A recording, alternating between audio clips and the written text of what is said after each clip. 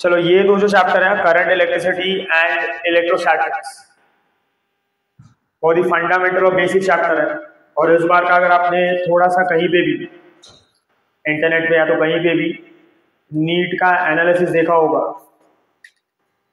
सो unlike every year इस बार electromagnetism में से दरवा रहा हूँ एटीन क्वेश्चन कितने क्वेश्चन थे अठारह। अठारह चार कितना हो गया? बहत्तर। यस और no around seventy two marks from one single section समझ में आ रहा है? और उसमें चैप्टर कितने? छः magnetism M double C current electro E M I A C yes और नो तो ये छः चैप्टर में से दरवा अराउंड एटीन क्वेश्चन ठीक है? जो ठीक है, ये साल, ये सेक्शन में से ज़्यादा क्वेश्चन आ गए। फिर मॉडर्न फिजिक्स में से दरवा अराउंड एट क्वेश्चन आप देखोगे तो दो ही सेक्शन ने आधा पेपर तो खत्म कर दिया। That is around twenty six question yes और नो फिर बाकी जो सेक्शन बचे हैं, वो सेक्शन में से there were rest of the question that is twenty four question with option भी हीट हर साल आता है, चार, पाँच छः क्वेश्चन और इस साल हीट में से there was only one question फिर बोलने का मतलब ये है कि आप लिमिटेड पढ़ाई करके डिपेंड नहीं करते उसके ऊपर. हाँ नसीब खुल भी सकता है. कि आपने ये वाला सेक्शन पढ़ा, उसी साल वही सेक्शन में सब क्वेश्चन आ गए. तो आपका लक है। जैसा और बट ऐसा लक भी आपको अपने बारे में पता होना चाहिए। कि जो करके जाते उसका उल्टा ही होता है ना एग्ज़ाम में हमेशा। सुबह को उठ के जो क्वेश्चन छोड़ा है, कि हमने ऐसा सोचा है कि ये तो नहीं ही आ सकता। सबसे पहले पेपर में वही दिखता है। जैसा और नो और ज़्यादा दुख होता है कि अरे यार, पाँच मिनट देख लिया। तो वो प्रेडिक्टिबिलिटी पे रहो मत। बोलने का मतलब ये है कि आपको हर एक सेक्शन को टच करना ज़रूरी है. You can not leave a particular section in option mostly दो सेक्शन को आप ज़्यादा निगलेक्ट करने का ट्राई करते हो. One is mechanics and second is electromagnetism modern physics heat oscillation waves वगैरह मैनेज कर लेते हो कैसे ना कैसे.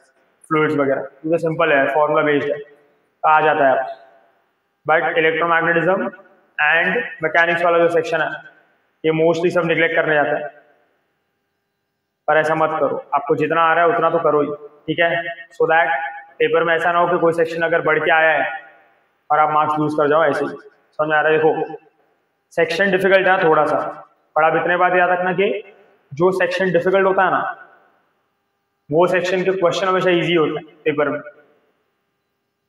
ये और optics electromagnetism optics and mechanics are the three sections जिसको डिफ़िकल्ट माना जाता है as a NEET student NEET student इसमें कंफर्टेबल नहीं होता। कुछ ना कुछ प्रॉब्लम फेस करते रहते समझ में आ रहा है? तो ये तीन सेक्शन में इग्नोरेंस नेग्लिजेंस ज़्यादा होता है कि आप चैप्टर छोड़ देते हो। बट अगर इसके क्वेश्चंस आप एग्जामिनेशन में देखोगे तो बहुत ही बेसिक फंडामेंटल क्वेश्चन होता है। क्योंकि नेट के पेपर सेटर को भी पता है कि कोई भी एक न्यू स्टूडेंट है, वो ये चैप्टर्स में इतना मेहनत करेगा नहीं। क्योंकि उसको थोड़ी बहुत चीज़ें नहीं जम रही होगी। तो इसलिए उसके जो क्वेश्चन होते हैं ना, वो काफ़ी ईजी होते हैं। समझ आ रहा है? जैसे इस बार कैपेसिटर का क्वेश्चन आया तो सीरीज़ पैरल का डायरेक्ट क्वेश्चन था। एक, तीन है कैपेसिटर उसमें दो पैरल है और तीनों सीरीज़ में। तो आप ओरली उसका आंसर निकाल सकते हो। बट इसके लिए कैपेसिटर का एक बेसिक इन्फॉर्मेशन होना चाहिए ना। अभी आप डिफ़िकल्ट मान के ही कैपेसिटर छोड़ के चले गए। कि भाई ये तो आता ही नहीं है, मुझे ऑप्शन में छोड़ना तो वो जो चार मार्क आपको ऐसे ही मिल जाता।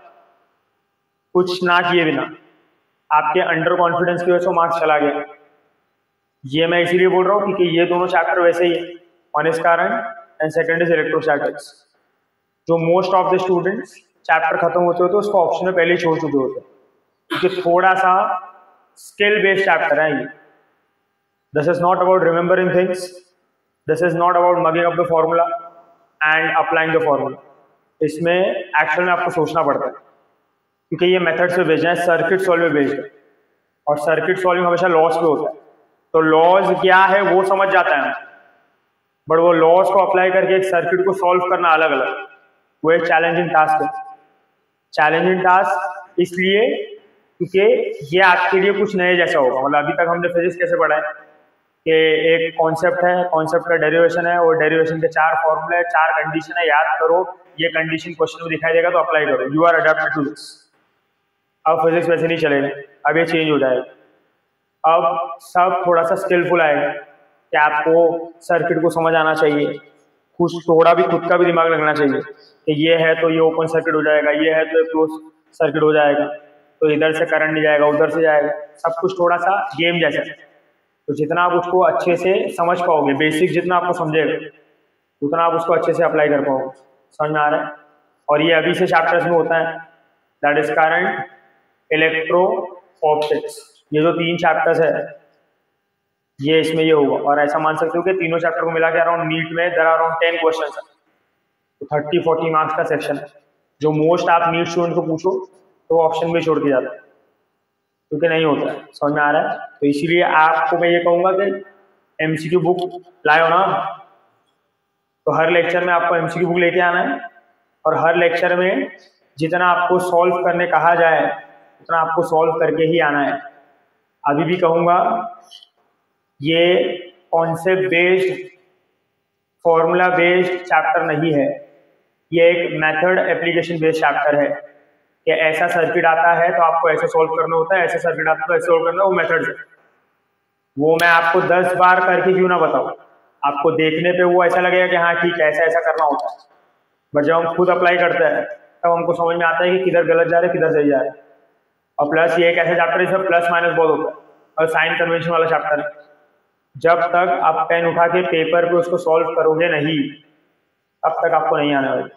अगर आप अप टू डेट चैप्टर को करते रहोगे कि ये चार क्वेश्चन बोला है ये चार क्वेश्चन सॉल्व किया, ये ये मेथड अप्लाई करके तो पहला मेथड भी याद होगा, दूसरा आपको समझेगा भी कि चल क्या रहा है। बस खाली उड़ाने गए तो चैप्टर आपको ज़ीरो परसेंट आएगा not even a single percent समझ में आ रहा है? और अच्छे वेटेज का चैप्टर है बोर्ड में भी। पाँच सात मार्क का चैप्टर आता है। न्यूमेरिकल्स वगैरह आता है। प्लीज़ समझना अंडरस्टैंड करना। प्लस इसके साथ जब हम मॉडर्न फिजिक्स पढ़ते हैं सेमी वगैरह, उसमें भी ये चैप्टर का बहुत हेल्प चाहिए होता है। तो please understand the basics well अच्छा चैप्टर है फन चैप्टर है। सर्किट सॉल्व वगैरह मज़ा आता है। Provided you understand the steps कि उसको अप्लाई कैसे करते और वो अप्लाई करने के लिए सिंपल चीज़ करनी पड़ती है। क्या? ध्यान देना पड़ता है। यस और तो ध्यान दो और समझ के लो। बाकी सब मेरे पे छोड़ दो, ठीक है? चलो नेक्स्ट अभी देखो स्कूल टाइम पे थोड़ा बहुत तो पढ़ा है ना करंट के बारे में। यस और नो चलो कैन एनीवन टेल मी कि करंट होता क्या है? What do mean by current yes school गए हो ना भाई? ऐसे चैप्टर वहाँ पे भी था करंट इलेक्ट्रिसिटी के। यस और नो तो क्या होता है current flow of charge okay और क्या? व्हाट इज़ रेजिस्टेंस सुन रहे हैं आप लोग मुझे? लास्ट बेंच, अभी आपका बुक बुक बंद करके रख दो हाँ भाई। बस हो गया खुद का खुद का कुछ ना चलते रहता है हमेशा। Do you mean by resistance? Any idea about resistance क्या होगा?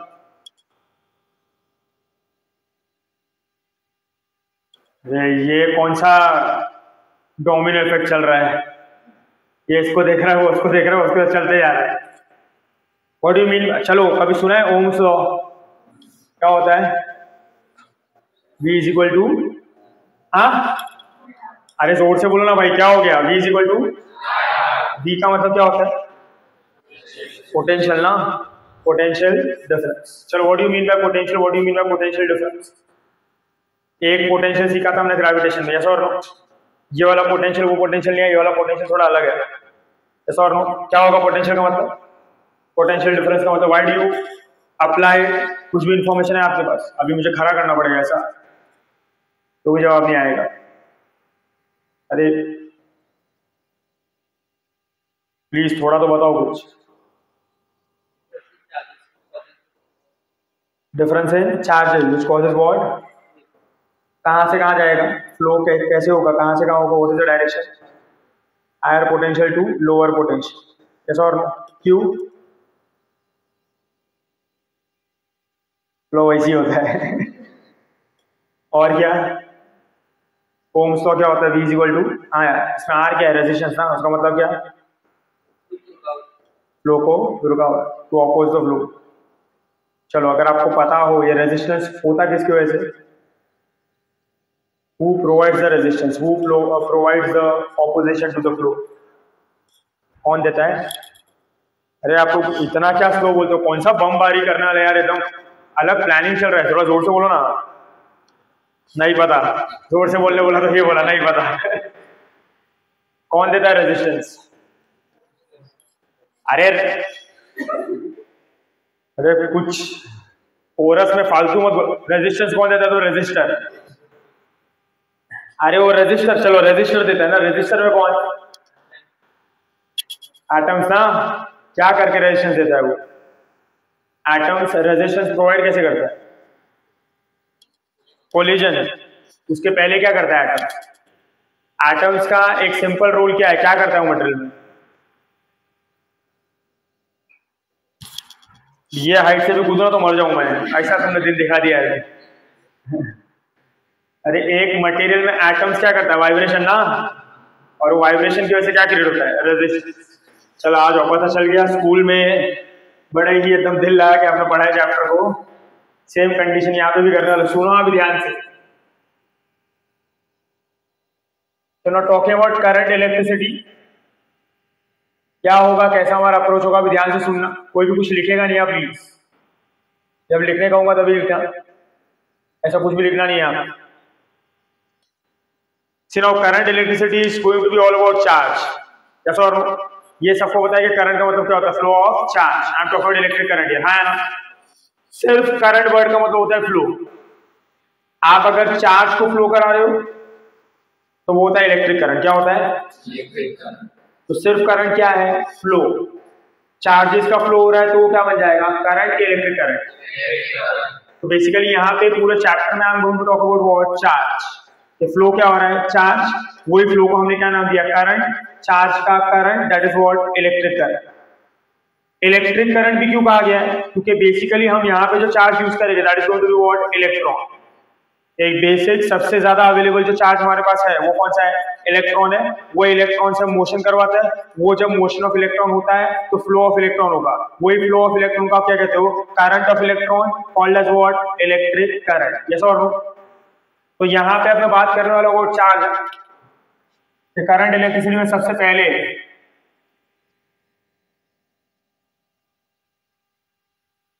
हम बात करते हैं अबाउट चार्ज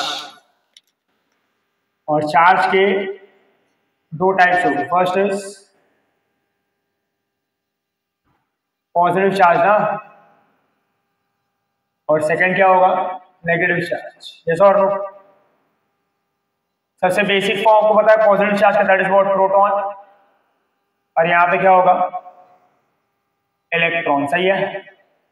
अब देखो, जब मैं चार्ज की बात करता हूँ ये प्रोटॉन इलेक्ट्रॉन जो है, ये दो तरीके से बिहेव कर सकते हैं।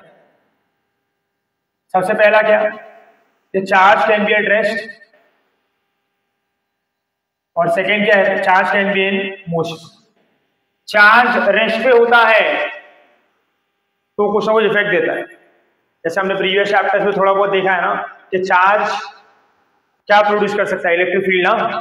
क्या प्रोड्यूस कर सकता है? और उसके लिए वो कैसे रहता है? चार्ज को आप रख दो, वो अपने वेसिलिटी में क्या बनाएगा? इलेक्ट्रिक फ़ील्ड और वो इलेक्ट्रिक फ़ील्ड क्या अप्लाई कर सकता है? फोर्स ऑन अदर चार्जेस ना?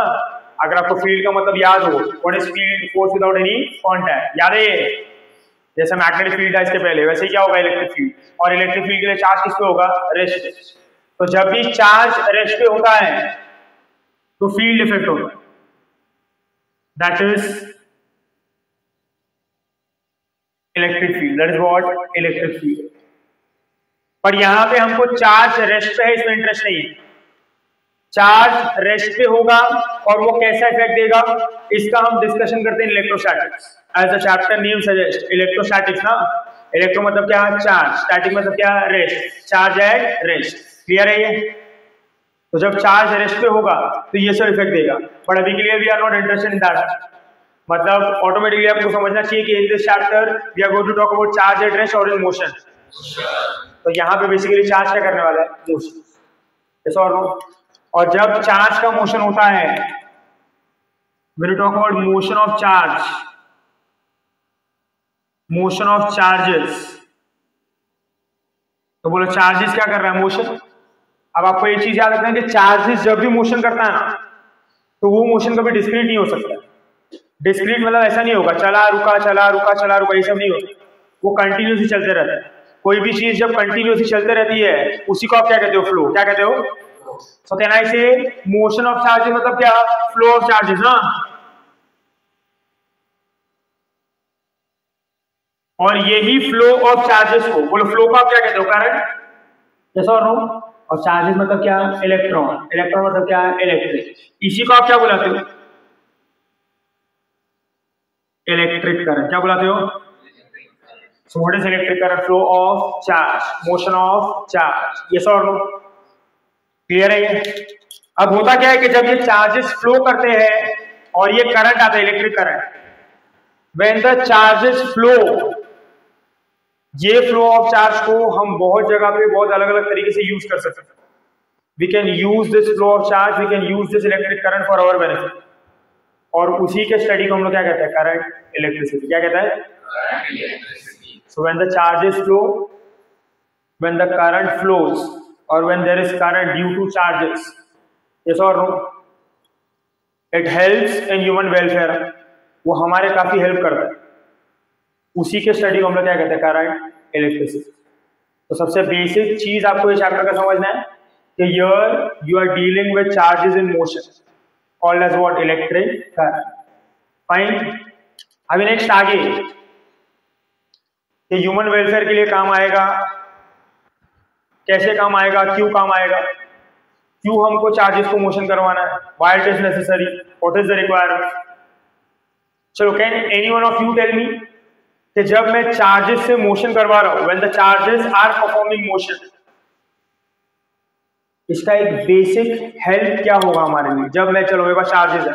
ऐसे सौ इलेक्ट्रॉन सौ चार्जेस है। मैंने उसको भगाया एक जगह पे। They are running they are flowing हो गया ना ये? तो इलेक्ट्रिक करंट आ गया, बराबर है? क्या लगता है आपको? इसका हेल्प क्या है मुझे? क्यों करना पड़ा मुझे ये? इसका ज़रूरत क्या है? क्यों करवा रहे हो sir why the charges are moving क्यों आप चार्जेस में मोशन करवा रहे हो? इसका हेल्प क्या होगा लाइफ बेसिक हेल्प क्या होगा? टेल मी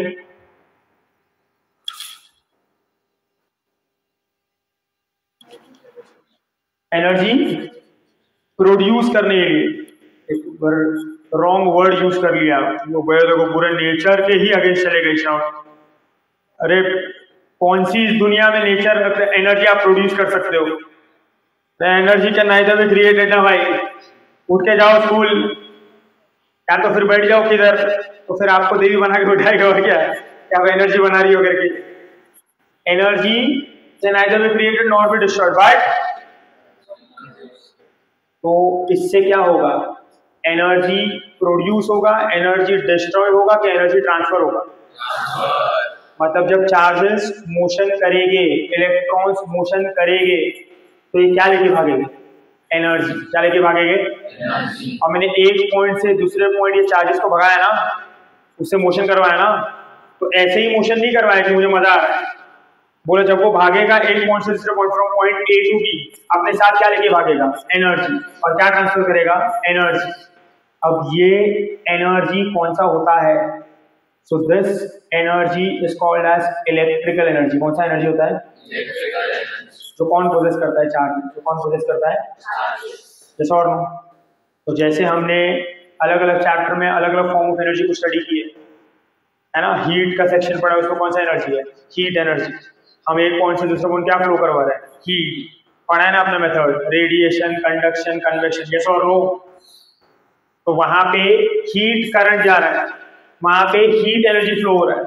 और वही हीट एनर्जी के फ्लो को हम यूज़ कर रहे हैं ना फॉर डिफरेंट डिफरेंट यूजेस है ना? वैसे यहाँ पे हम हीट एनर्जी के बदले कौन सा एनर्जी फ्लो करवाएँगे? इलेक्ट्रिकल एनर्जी और इलेक्ट्रिकल एनर्जी किसके पास होता है? चार्जेस के पास. किसके पास? तो चार्जेस के पास इलेक्ट्रिकल एनर्जी है। चार्जेस वो एनर्जी लेके भागेगा from one point to other point जब वो चार्जेस ये एनर्जी लेके भागेगा from one point to other point दूसरे पॉइंट को एनर्जी को ट्रांसफ़र करेगा ना, इसकी वजह से हमारा फ़ायदा ये सब किस पे चल रहा है? इलेक्ट्रिकल एनर्जी पे ना? यस और no I getting my point so ये क्यों करवाते हैं हम सबसे पहले तो पर्पस समझो चैप्टर का what is the purpose of current electricity ये क्यों आज तक हम सुनते आ रहे हैं electric current is flow of charge but why do require flow of charge हम ये क्यों करवाना चाहते हैं। क्यों चार्जेस को भगा रहे हैं। क्या ट्रांसफ़र करने के लिए? Electrical energy so, electrical energy is the energy possessed by charges. And जब चार्जेस फ्लो होगा तो अपने साथ इलेक्ट्रिकल एनर्जी लेके भागेगा। वो इलेक्ट्रिक एनर्जी को जब वो लेके भागेगा तो एक पॉइंट से दूसरे पॉइंट ट्रांसफ़र करेगा। वो इलेक्ट्रिक एनर्जी मेरे बहुत काम है। ठीक है, एक चीज़ समझो कि electrical energy is versatile energy versatile energy का मतलब ये होता है कि आप इलेक्ट्रिकल एनर्जी को कोई भी फॉर्म में कन्वर्ट कर सकते हो। जैसे ये एक लाइट लगा हुआ है ना एलईडी जैसे एलईडी लाइट एलईडी बल्ब है ना। तो ये आपको क्या दे रहा है? लाइट एनर्जी बट ये चल किस पे रहा है? करंट पे ना? मतलब देखो ये स्विच के थ्रू चार्जेस भाग रहा है। अरे बेसिकली यहाँ पे यही हो रहा है ना भाई। ये सप्लाई के थ्रू आप ये बल्ब को क्या दे रहे हो? करंट ना? कौन सा करंट इलेक्ट्रिक करंट इसका मतलब क्या है कि वो सप्लाई में से चार्जेस निकल के वायर के थ्रू फ्लो हो रहा है और वो फ्लो हो रहा है जब तो अपने साथ क्या लेके भाग रहा है? इलेक्ट्रिकल एनर्जी वहाँ से भाग के वो यहाँ पे आया और ये एलईडी बल्ब को उसने क्या प्रोवाइड किया? इलेक्ट्रिकल एनर्जी अब ये एलईडी बल्ब में ऐसा कोई तो फंक्शनिंग है, ऐसा कोई तो प्रोसेसिंग है जो ये इलेक्ट्रिकल एनर्जी को किसमें कन्वर्ट करता है? लाइट एनर्जी यस और समझ में आ रहा है? तो इलेक्ट्रिक एनर्जी किसमें कन्वर्ट हुआ? लाइट एनर्जी अरे हमारे घर पे एयर कंडीशनर है, यहाँ पे भी एयर कंडीशनर रेफ्रिजरेटर है, गीजर है यस और नो सब किस पे चलता है? इलेक्ट्रिसिटी पे। सब किस पे चलता है? इलेक्ट्रिक करंट पे। और सबका रोल क्या है? To deal with heat energy ना? अभी गीजर क्या कर रहा है? पानी को गर्म कर रहा है। किसको यूज़ करके? इलेक्ट्रिक एनर्जी को। मतलब यहाँ पे इलेक्ट्रिक एनर्जी कौन सा एनर्जी में कन्वर्ट हो रहा है? हीट एनर्जी रेफ्रिजरेटर में भी कूलिंग हीटिंग हो रहा है ना यार? किसकी वजह से हो रहा है? Electric energy converted to what heat energy आप सप्लाई निकाल तो चलेगा क्या? एयर कंडीशनर भी क्या कर रहा है? कंडेंसेशन करके इसको ठंडा कर रहा है ना? पर एयर कंडीशनर खुद किस पे काम कर रहा है? इलेक्ट्रिक एनर्जी तो इलेक्ट्रिक एनर्जी फिर से किसमें कन्वर्ट हो रहा है? हीट एनर्जी कंडेंसेशन मतलब प्रोसेस ऑफ़ हीट ना? जो किसकी वजह से हो रहा है? इलेक्ट्रिसिटी हाँ ना तो कुछ डिवाइसेज ऐसे है जो इलेक्ट्रिक एनर्जी को कन्वर्ट कर रहे हैं, जिसमें लाइट एनर्जी कुछ डिवाइसेज ऐसे है जो इलेक्ट्रिकल एनर्जी को कन्वर्ट करे जिसमें हीट एनर्जी कुछ डिवाइसेस ऐसे भी है जो इलेक्ट्रिकल एनर्जी को कन्वर्ट कर रहे हैं मैकेनिकल एनर्जी ये रहा फ़ैन है यस और नो इलेक्ट्रिसिटी बंद कर दो, घूमेगा क्या? इलेक्ट्रिसिटी आया तो घूमना शुरू किया ना? तो कौन सा मोशन कर रहा है? रोटेशनल मोशन ना? रोटेशनल मोशन मोशन कर रहा है मतलब कौन सा एनर्जी है? काइनेटिक एनर्जी काइनेटिक एनर्जी मतलब कौन सा energy mechanical energy yes or no तो आप इलेक्ट्रिकल एनर्जी को किसमें कन्वर्ट कर रहे हो मैकेनिकल एनर्जी उल्टा भी तो होता है। होता है कि नहीं होता? है आप वाटर के फ्लो से अगर इलेक्ट्रिसिटी प्रोड्यूस करना चाहो तो कैसे होता है वो? टर्बाइन से ना? Or no? so coil वगैरह होता है। Or no? so from a height, water flows it goes into the turbine. The turbine starts rotating ना एक हाई स्पीड पे रोटेट करेगा, उसके कॉइल वगैरह, है ना?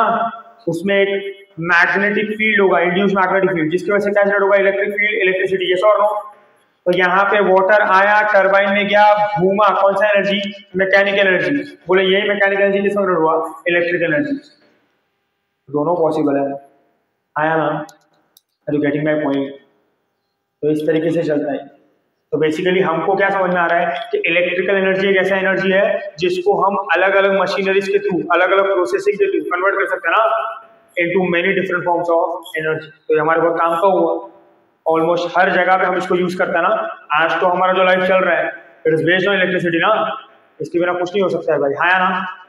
So electricity plays a very important role लेने वाला है क्यों? क्योंकि वो जो इलेक्ट्रिक एनर्जी है आप उसको हर तरीके से यूज़ कर सकते हैं। तो इस चैप्टर में बेसिकली हमारा फंडामेंटल क्या है? रिमेंबर द पर्पस आपका पूरा चैप्टर समझेगा।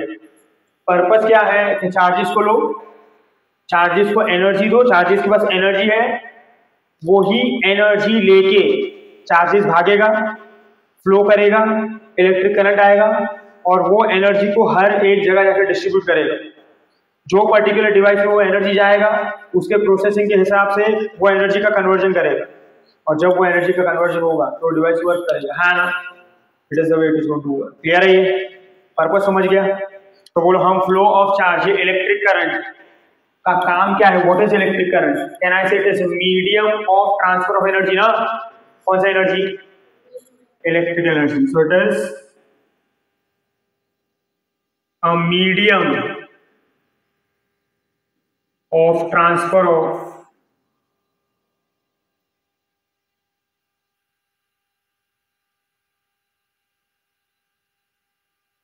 electrical energy. Is a medium of transfer of what? Electrical energy. सही है? हेलो समझ गया सबको? चलो, आपको एनर्जी ट्रांसफ़र करना है। किसके हेल्प से? चार्जेस चार्जेस आपके एनर्जी को लेके भागेगा।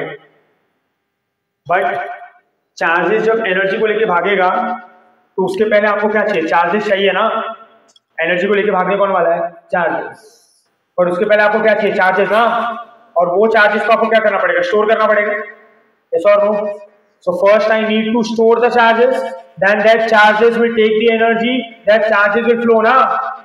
चलो आप कैसे कोई बता सकता है? मुझे थोड़ा सा सुन के बोलना बराबर से ध्यान से। हम चार्जेस को कहाँ पे स्टोर करते हैं? Where do we store the charge where do we store the charge?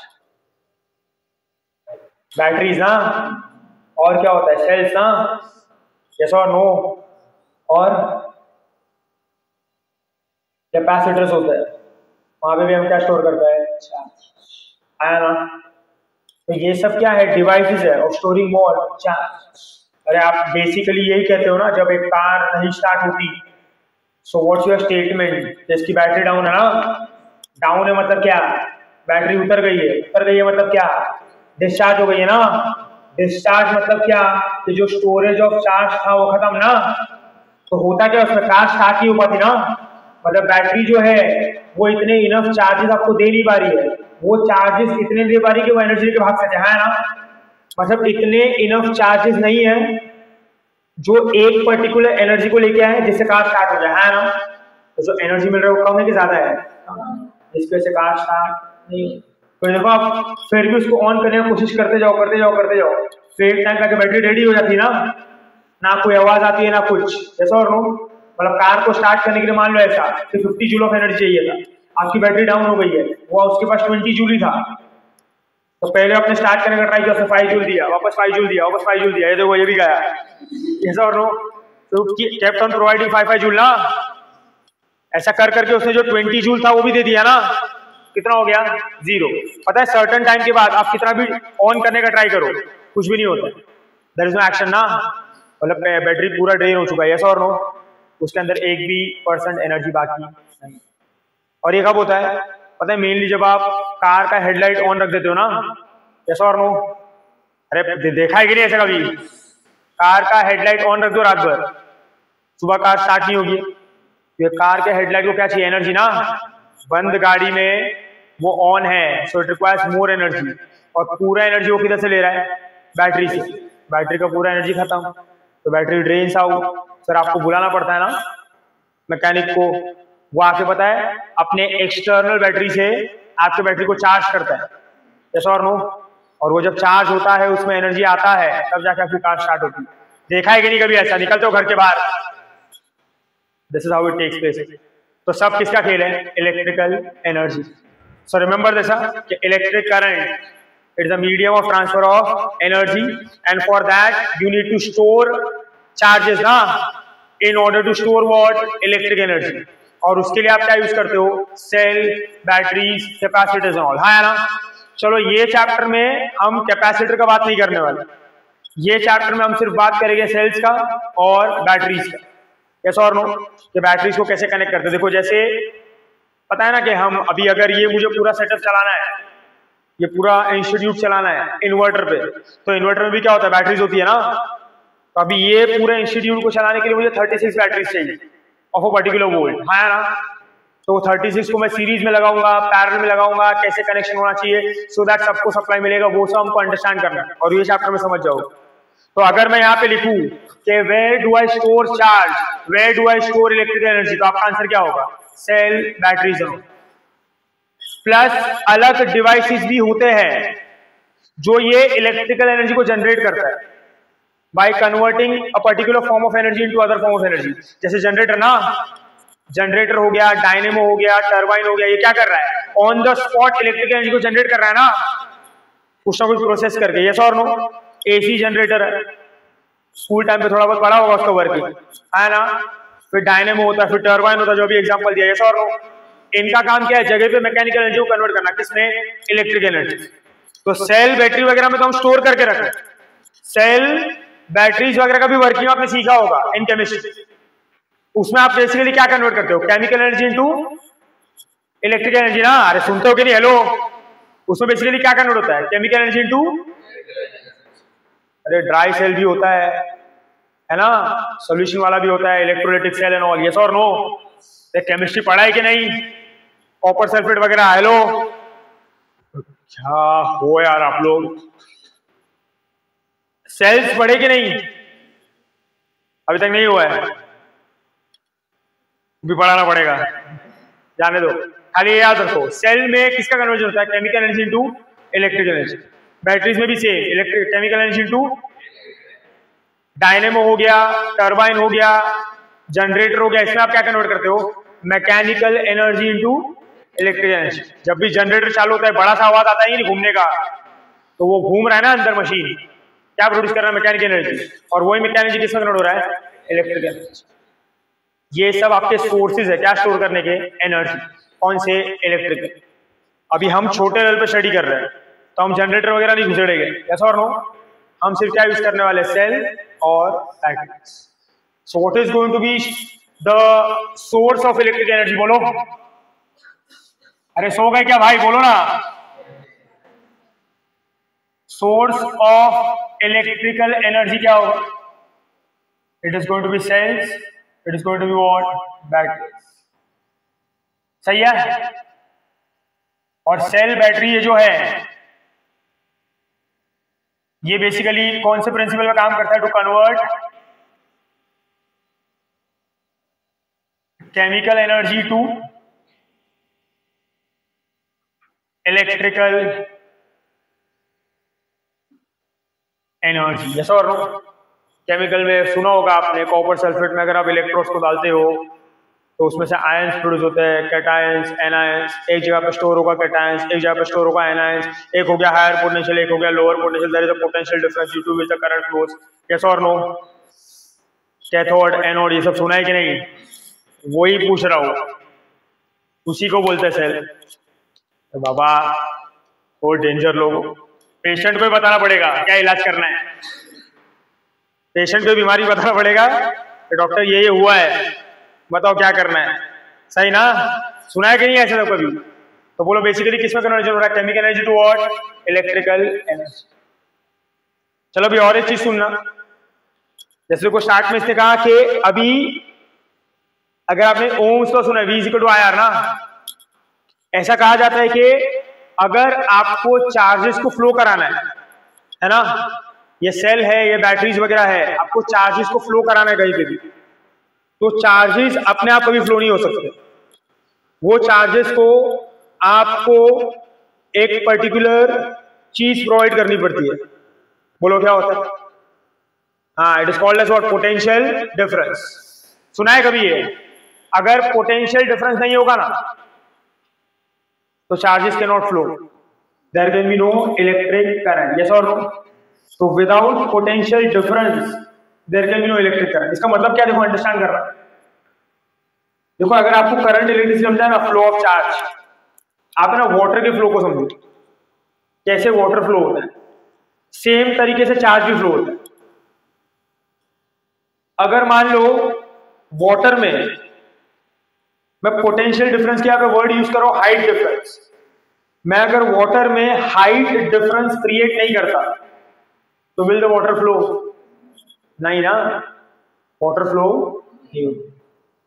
अगर पानी एक ही लेवल पे है हॉरिजॉन्टल लेवल पे है ना? ऐसा है, पूरे रूम में भर दिया so what do you think this water will flow it will remain still ऐसे ही रहेगा ना, भरा हुआ स्विमिंग पूल में जैसा होता है। हाँ ना पर कहीं पे भी मैंने एक स्लोप क्रिएट कर दिया, एक हाइट को ऊपर कर दिया, एक हाइट को नीचे कर दिया। तो without any input from my side बोलो वाटर अपने आप फ्लो होगा? क्योंकि आपने क्या किया है? पोटेंशियल सॉरी एक हाइट डिफरेंस क्रिएट किया ना, जिसकी वजह से वाटर फ्लो हो रहा है from higher point to lower point जैसा और नो तो एक हायर पॉइंट से लोअर पॉइंट क्या फ्लो होता है? वाटर समझाइए? और ये आप इसमें कुछ नहीं कर रहे ये एक नेचर का लॉ है। कहीं पे भी कोई चीज़ हायर होगी, कोई चीज़ लोअर होगी। हमेशा फ्लो होगा फ्रॉम हायर टू लोअर जैसे देखो अगर मैंने एग्जांपल दिया कि मैं एक डीओ लेता हूँ perfume and I spray dear बराबर है? तो अब उसमें से जो मॉलिक्यूल्स निकले जो पार्टिकल्स निकले वो यहाँ पे अभी एक्यूमुलेट हो रहा है ना? तो कहना है ये रीजन में वो मॉलिक्यूल्स का वो पार्टिकल्स का हाई कॉन्सेंट्रेशन है। और फिर धीरे धीरे क्या होगा? कहना है अभी ये हायर कॉन्सेंट्रेशन को अगर मैं पूरे रूम से कंपेयर करूँ तो दूसरे दूसरे सेक्शन में तो पार्टिकल्स नहीं है ना? मतलब यहाँ पे पार्टिकल्स का क्या है? हायर कॉन्सेंट्रेशन यहाँ पे क्या है? लोअर कॉन्सेंट्रेशन तो बोलो पार्टिकल्स अपने फ्लो होना स्टार्ट होते हैं कि नहीं? कहाँ से कहाँ? हायर कॉन्सेंट्रेशन टू और नो समझ में आ रहा है? हीट एनर्जी का भी ऐसा ही है ना? हीट एनर्जी कहाँ से कहाँ फ्लो होता है? From higher temperature to lower temperature water भी कैसे फ्लो होता है? From higher end to lower end तो नेचर में ऐसा कहा जाता है कि कहीं पे भी अगर ऐसा डिफरेंस आया तो वो नेचर उसको बैलेंस करने का ट्राई करता है। और ये बैलेंस करने में चीज़ें क्या होती है? फ्लो क्या होती है? तो कहीं पे भी, देखो ना, अभी अगर मैंने ऐसा भी कंसिडर किया कि मैं ये रूम में बहुत सारे बॉल्स भर देता हूँ। बराबर है? और ये रूम को पैक कर दिया। है ना? तो अभी बॉल सब ये रूम के अंदर ही है। बट कहीं से भी अगर मैंने ओपनिंग दिया तो बोलो बॉल्स अभी भी स्टेबल रहेगी कि दे विल फ्लो निकल जाएगी ना सब? क्योंकि यहाँ पे क्या there is higher concentration of balls ना? और सामने there is no concentration of ball तो ये क्या है? हायर कॉन्सेंट्रेशन वो क्या है? लोअर कॉन्सेंट्रेशन बोलो फ्लो कहाँ से कहा होगा? Higher to higher to low तो ये नेचर का रूल ही है। कोई भी चीज़ को फ्लो होना है तो आपको एक हायर एंड आपको एक लोअर एंड निकालना ही पड़ेगा। जैसे अगर हीट एनर्जी फ्लो हो रहा है तो एक एंड कैसा होना चाहिए? हायर टेम्परेचर एक एंड कैसा होना चाहिए? लोअर टेम्परेचर वो चैप्टर में पढ़ा होगा ना आपने। अगर टेम्परेचर सेम हो गया कॉमन हो गया, there is no higher temperature there is no lower temperature temperature zero है तो will the heat flow? तो हायर एंड होगा लोअर एंड होगा, तभी हीट फ्लो तभी क्या आएगा हीट का वैसे ही वाटर का क्या चाहिए? Higher point and lower point वैसे ही इलेक्ट्रिक करंट के लिए भी, बोलो इलेक्ट्रिक करंट बेसिकली क्या? फ्लो ऑफ़ चार्ज ना? तो यहाँ पे चार्जेस भी फ्लो हो रहा है. अगर चार्जेस फ्लो हो रहा है तो कहना चाहिए I will require higher end and I will require मतलब क्या? कि एक जगह पे चार्जेस ज़्यादा होना चाहिए? और एक जगह पे चार्जेस कम होना चाहिए। तो ज़्यादा चार्जेस के पॉइंट से कम चार्जेस के पॉइंट पे क्या फ्लो होगा? चार्ज यस और नो अब फिजिक्स में चार्जेस जहाँ पे ज़्यादा है, उसे कहा जाता है हायर पोटेंशियल क्या कहा जाता है? और चार्जेस जहाँ पे कम है, उसे कहा जाता है लोअर पोटेंशियल क्या कहा जाता है? तो जहाँ पे चार्जेस ज़्यादा, वो क्या है? हायर पोटेंशियल जहाँ पे चार्जेस कम, क्या है? वो क्या है? तो चार्ज बोलो कहाँ से कहाँ फ्लो होगा? हायर पोटेंशियल टू और अगर चार्जेस फ्लो हो रहा है मतलब क्या इलेक्ट्रिक क्या होगा? समझा? बोलो, अगर ये पॉइंट पे भी, ये पॉइंट पे भी चार्जेस सेम है तो is there any potential difference मतलब ये भी सेम पोटेंशियल ये भी सेम पोटेंशियल बोले सेम पोटेंशियल मतलब पोटेंशियल डिफरेंस कितना? ज़ीरो तो क्या लगता है चार्जेस फ्लो होगा कि नहीं होगा? तो क्या कोई इलेक्ट्रिक करंट आएगा? तो एक चीज़ ध्यान में रखना है, जब भी आपको इलेक्ट्रिक करंट चाहिए what you need to create potential difference एक जगह पे चार्जेस ज़्यादा एक जगह पे चार्जेस कम. तो क्या फ्लो होगा? चार्ज और नो आया ना तो आप यही तो करते हो। ये सेल में बैटरीज में आप यही करते हो। अगर आपको समझता होगा what you mean by positive charge can I say absence of electron ना? And what you mean by negative charge presence of electron सही है? तो पॉजिटिव चार्ज वो होता है जो इलेक्ट्रॉन डेफिशिएंट है, बराबर है? और नेगेटिव चार्ज वो होता है जो इलेक्ट्रॉन है ना जिसके पास? यस और नो तो मुझे क्या फ्लो कराना है? बोलो बेसिकली मेरे पास सबसे ज़्यादा क्या इलेक्ट्रॉन है ना? तो अब मैंने क्या किया?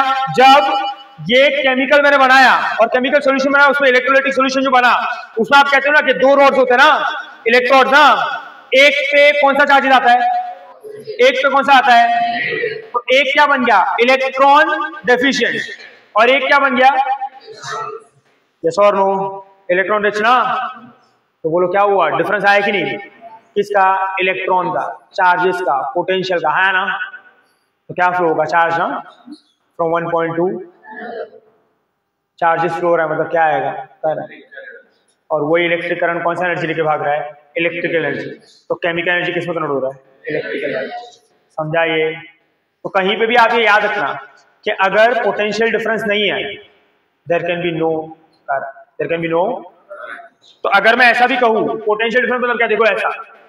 ये पॉइंट भी याद रखो सर्किट में बहुत काम आएगा। दो पॉइंट है मेरे पास ए और बी सही है? मान लो इसका पोटेंशियल भी वी है, इसका पोटेंशियल भी वी है। तो बोलो, इनके बीच पोटेंशियल डिफरेंस कैसा है? तो अगर यहाँ पे ऐसा कुछ कनेक्शन भी है, क्या लगता है आपको ये पार्ट में will the charges flow will the current flow तो यहाँ पे करंट का वैल्यू कितना होगा? कितना होगा करंट का वैल्यू यस और नो तो अभी देखो, आगे आके जब हम सर्किट सॉल्व करेंगे ना, ऐसा कोई भी लाइन जिसमें करंट पास होता है, उसको हम कहते हैं ब्रांच क्या कहते हैं? ये ब्रांच के थ्रू करंट जा रहा है ना? तो अगर मुझे कोई भी ब्रांच के थ्रू करंट को अलाउ नहीं करना है तो मुझे क्या करना पड़ेगा? वो ब्रांच के जो दो पॉइंट है, वो कनेक्टेड ब्रांच उधर पोटेंशियल डिफरेंस कितना करना पड़ेगा? तो करंट कितना हो जाएगा? मतलब वो ब्रांच के थ्रू करंट नहीं पास होगा। क्लियर है ये? समझ गया? फाइन तो नेक्स्ट ना नेक्स्ट पॉइंट देखो, अगर यहाँ पे लिखू मैं, ये सब छोटे छोटे पॉइंट्स हैं। But it will build up your chapter और आगे आगे बहुत काम आने वाला है सो आई से बोलो for electric current for flow of charge for electric current for flow of charge what is necessary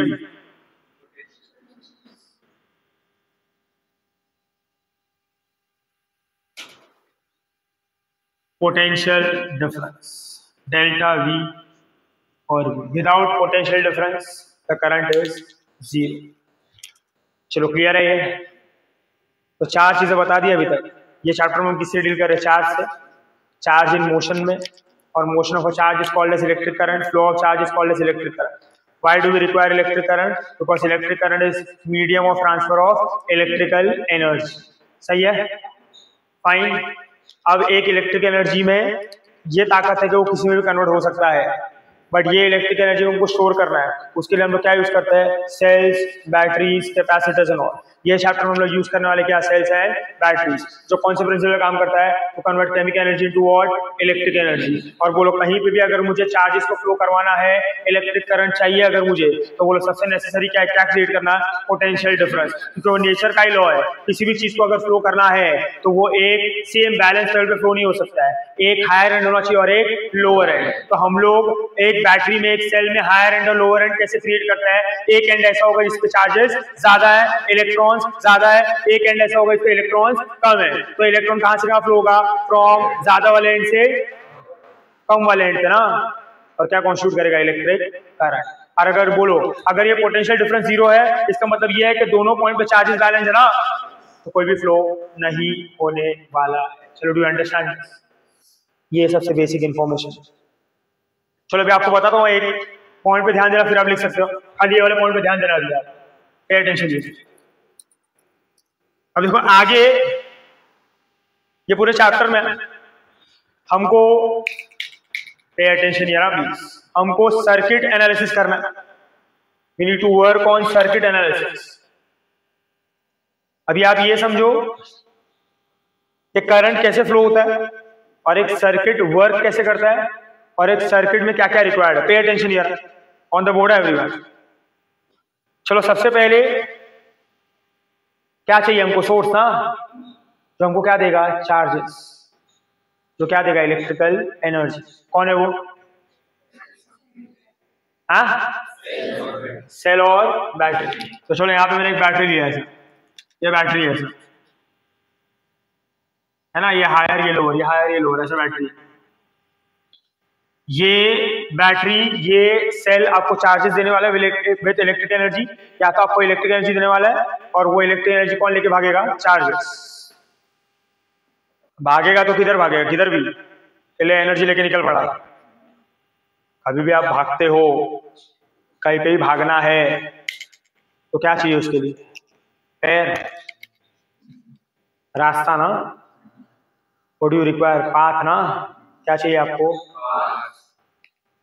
तो चार्जेस है आपके पास, वो चार्जेस के पास इलेक्ट्रिक एनर्जी भी है, वो चार्जेस इलेक्ट्रिकल एनर्जी लेके भागने को तैयार भी है। और मुझे पता है कि ये चार्जेस को इलेक्ट्रिकल एनर्जी लेके पॉइंट ए से पॉइंट बी तक भागना है।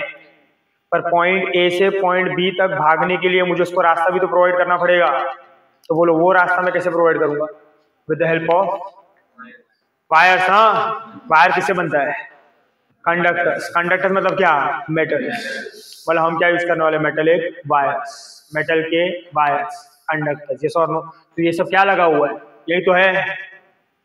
ये सब किसमें हेल्प कर रहा है? करंट देने में ना? वायर काट दो करंट आएगा क्या? तो इसमें क्या फ्लो हो रहा है? चार्ज क्या लेके भाग रहा है वो?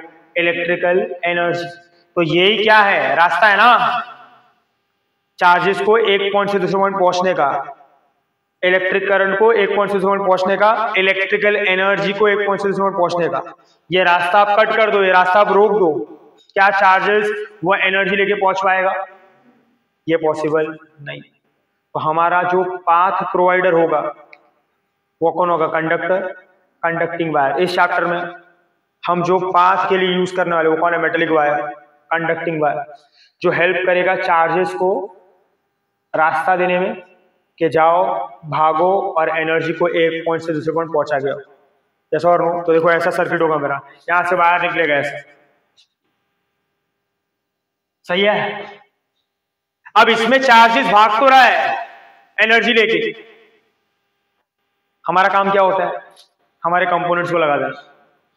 क्या लगा देना? कंपोनेंट ये चार्जेस को थोड़ी मालूम है कि किधर बल्ब लगाए, ना किधर टीवी लगाए, ना किधर एसी लगाए। वो तो लेके भाग रहा है ना। आपने बीच में कनेक्ट कर दिया।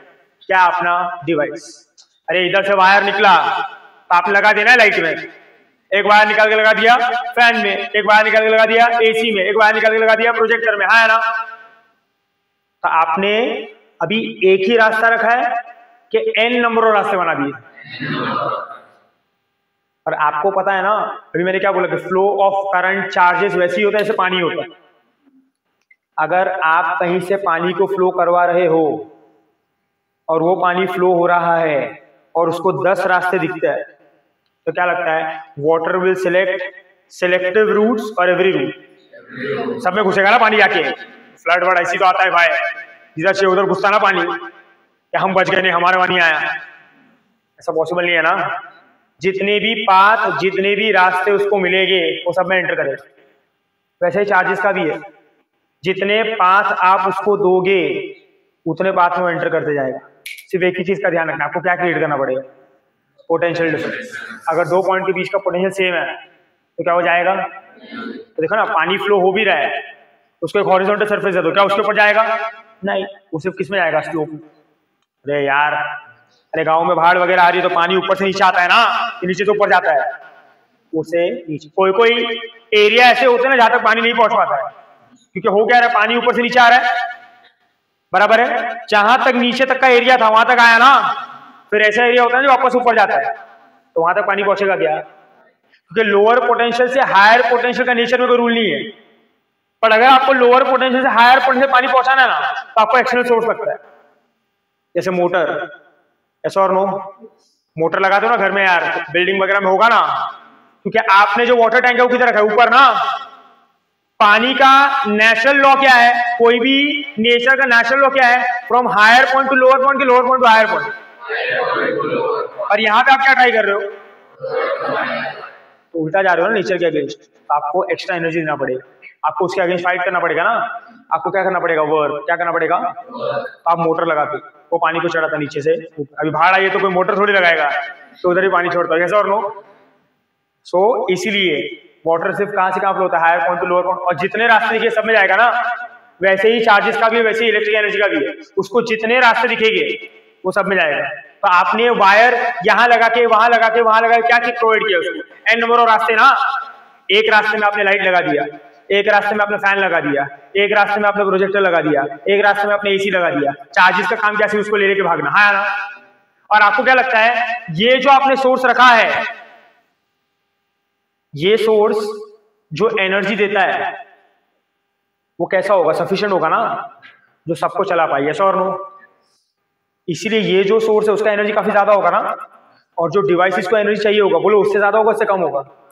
काफ़ी कम होगा ना यार? तो आपने क्या किया है? अलग अलग रास्ता बनाया आपने बोला एक रास्ता इधर है। ए इधर लगा दिया एसी और नो यहाँ लगा दिया एक लाइट ऐसा। इधर कुछ ना कुछ लाइट कनेक्टेड है। इधर एक फ़ैन कनेक्टेड है समझ में आ रहा है? इधर फिर से एक ऐसा प्रोजेक्टर कनेक्टेड ना इधर टीवी कनेक्टेड है यस और नो ऐसा ही बेसिक सर्किट बन गया। सही है? अरे बोलो भाई। तो बोलो अभी चार्जेस ये एनर्जी किसको देगा? चार्जेस को? चार्जेस भागेगा ना इधर से? ऐसे नंबर ऑफ़ इलेक्ट्रॉन्स कंडक्टर के थ्रू भाग रहे हैं तो बोलो इधर आया। आया ना? तो इसको दो रास्ते दिखे ना? एक रास्ता इधर, एक रास्ता तो बोलो, दोनों रास्ते में जाएगा, कोई एक ही रास्ते में जाएगा? जिधर भी रास्ता दिखा, उधर भागेगा ना यार।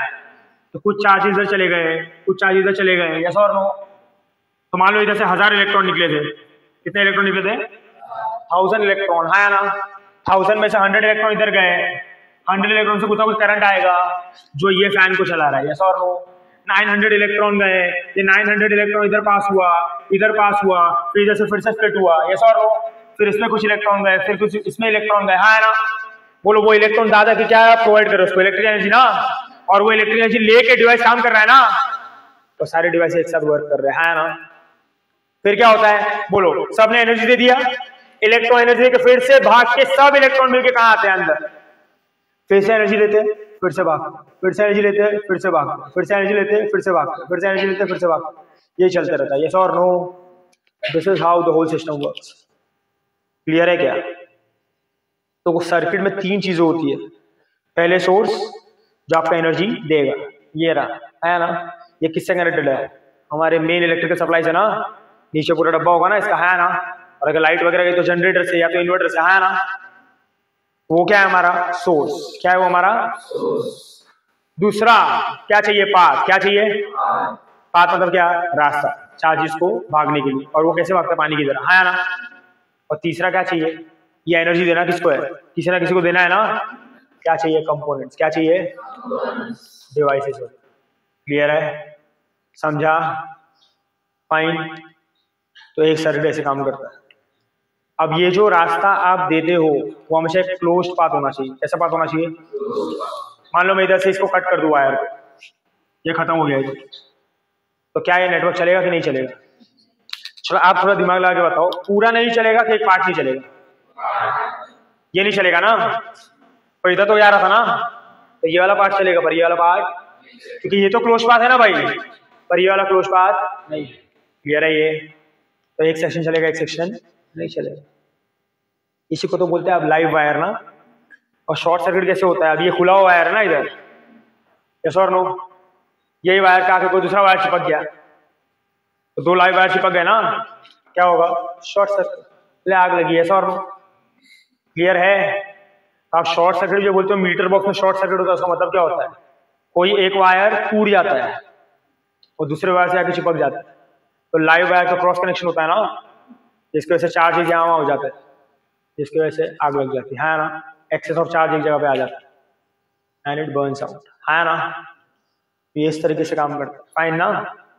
क्लियर है? अब देखो, इसके अंदर ना एक चीज़ जो आपको सवाल आना चाहिए। बोलो, हर एक डिवाइस का जो करंट का रिक्वायरमेंट है, जो चार्जेस का रिक्वायरमेंट है, वो सेम होता है क्या अलग अलग? लिमिटेड होगा ना? कोई बोलेगा, मैं दो एम्पियर पे काम करता हूँ। कोई बोलेगा, मैं दस एम्पियर पे। कोई बोलेगा, पचास एम्पियर पे। है ना? सोलह एम्पियर, बारह एम्पियर, है ना? अब उस डिवाइस पे देख सकते हो, लिखा होता है कि वन एम्पियर का करंट चाहिए, बारह का चाहिए, सोलह का चाहिए, बीस का चाहिए, है ना? सप्लाई तो बहुत ज़्यादा आ रहा है। टू ट्वेंटी वोल्ट फिफ्टी का होता है ना? इसका करंट भी बहुत बड़ा बनता है। और बट्टे बट्टे, इसमें जितना चाहिए उतना ही जाता है। इसमें जितना चाहिए उतना ही जाता है। उसमें जितना चाहिए उतना ही जाता है। सही है? ज़्यादा गया तो क्या होगा? हाँ? What will happen if the current, if the charges are more than the expected? What will happen? जलेगा ना? डिवाइस जाएगा ना भाई उड़ जाएगा यस और नो डिवाइस विल ब्लास्ट ना फ्यूज हो जाएगा ना वो। देखा है कि नहीं कभी? नहीं देखा है? ये ज़्यादा करके कभी होता है पता है क्या? बारिश के टाइम पे। बारिश के टाइम पे घर पे ये सब आपको इन्फॉर्मेशन देते हैं कि नहीं? कि जैसे ही बिजली कड़की जैसे ही लाइटनिंग हुई कि फ्रिज बंद कर टीवी बनकर एसी पूरा घर बनकर ना एसी जो बड़े बड़े डिवाइस है तो हम बंद कर देते इसका रीजन देखो क्या होता है।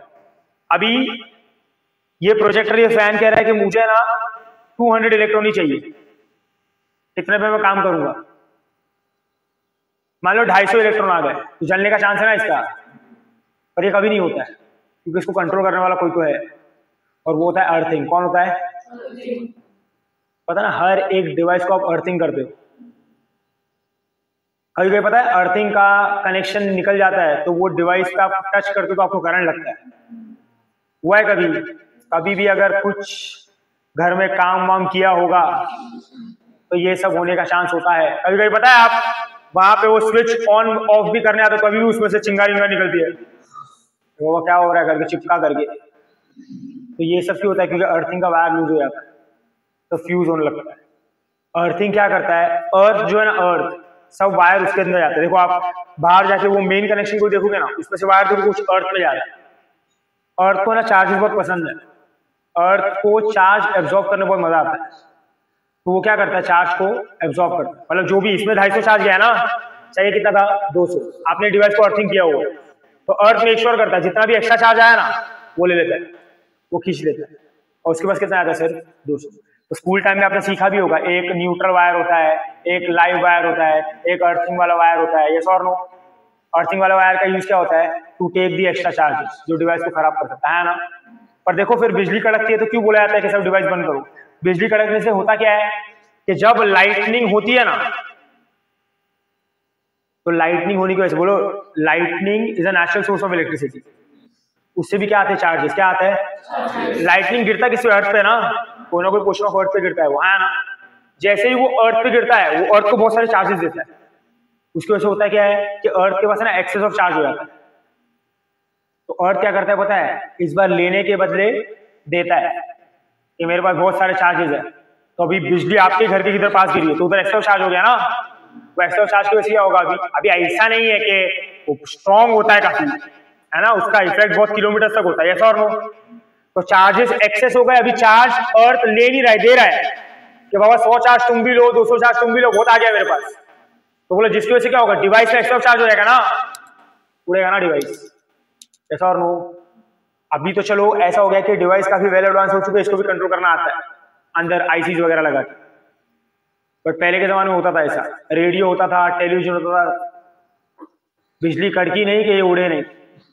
ऐसा हर रो इसीलिए बारिश के टाइम पे ज़्यादा करके टेलीविज़न जो रिपेयरिंग वाले के वहीं रहता था।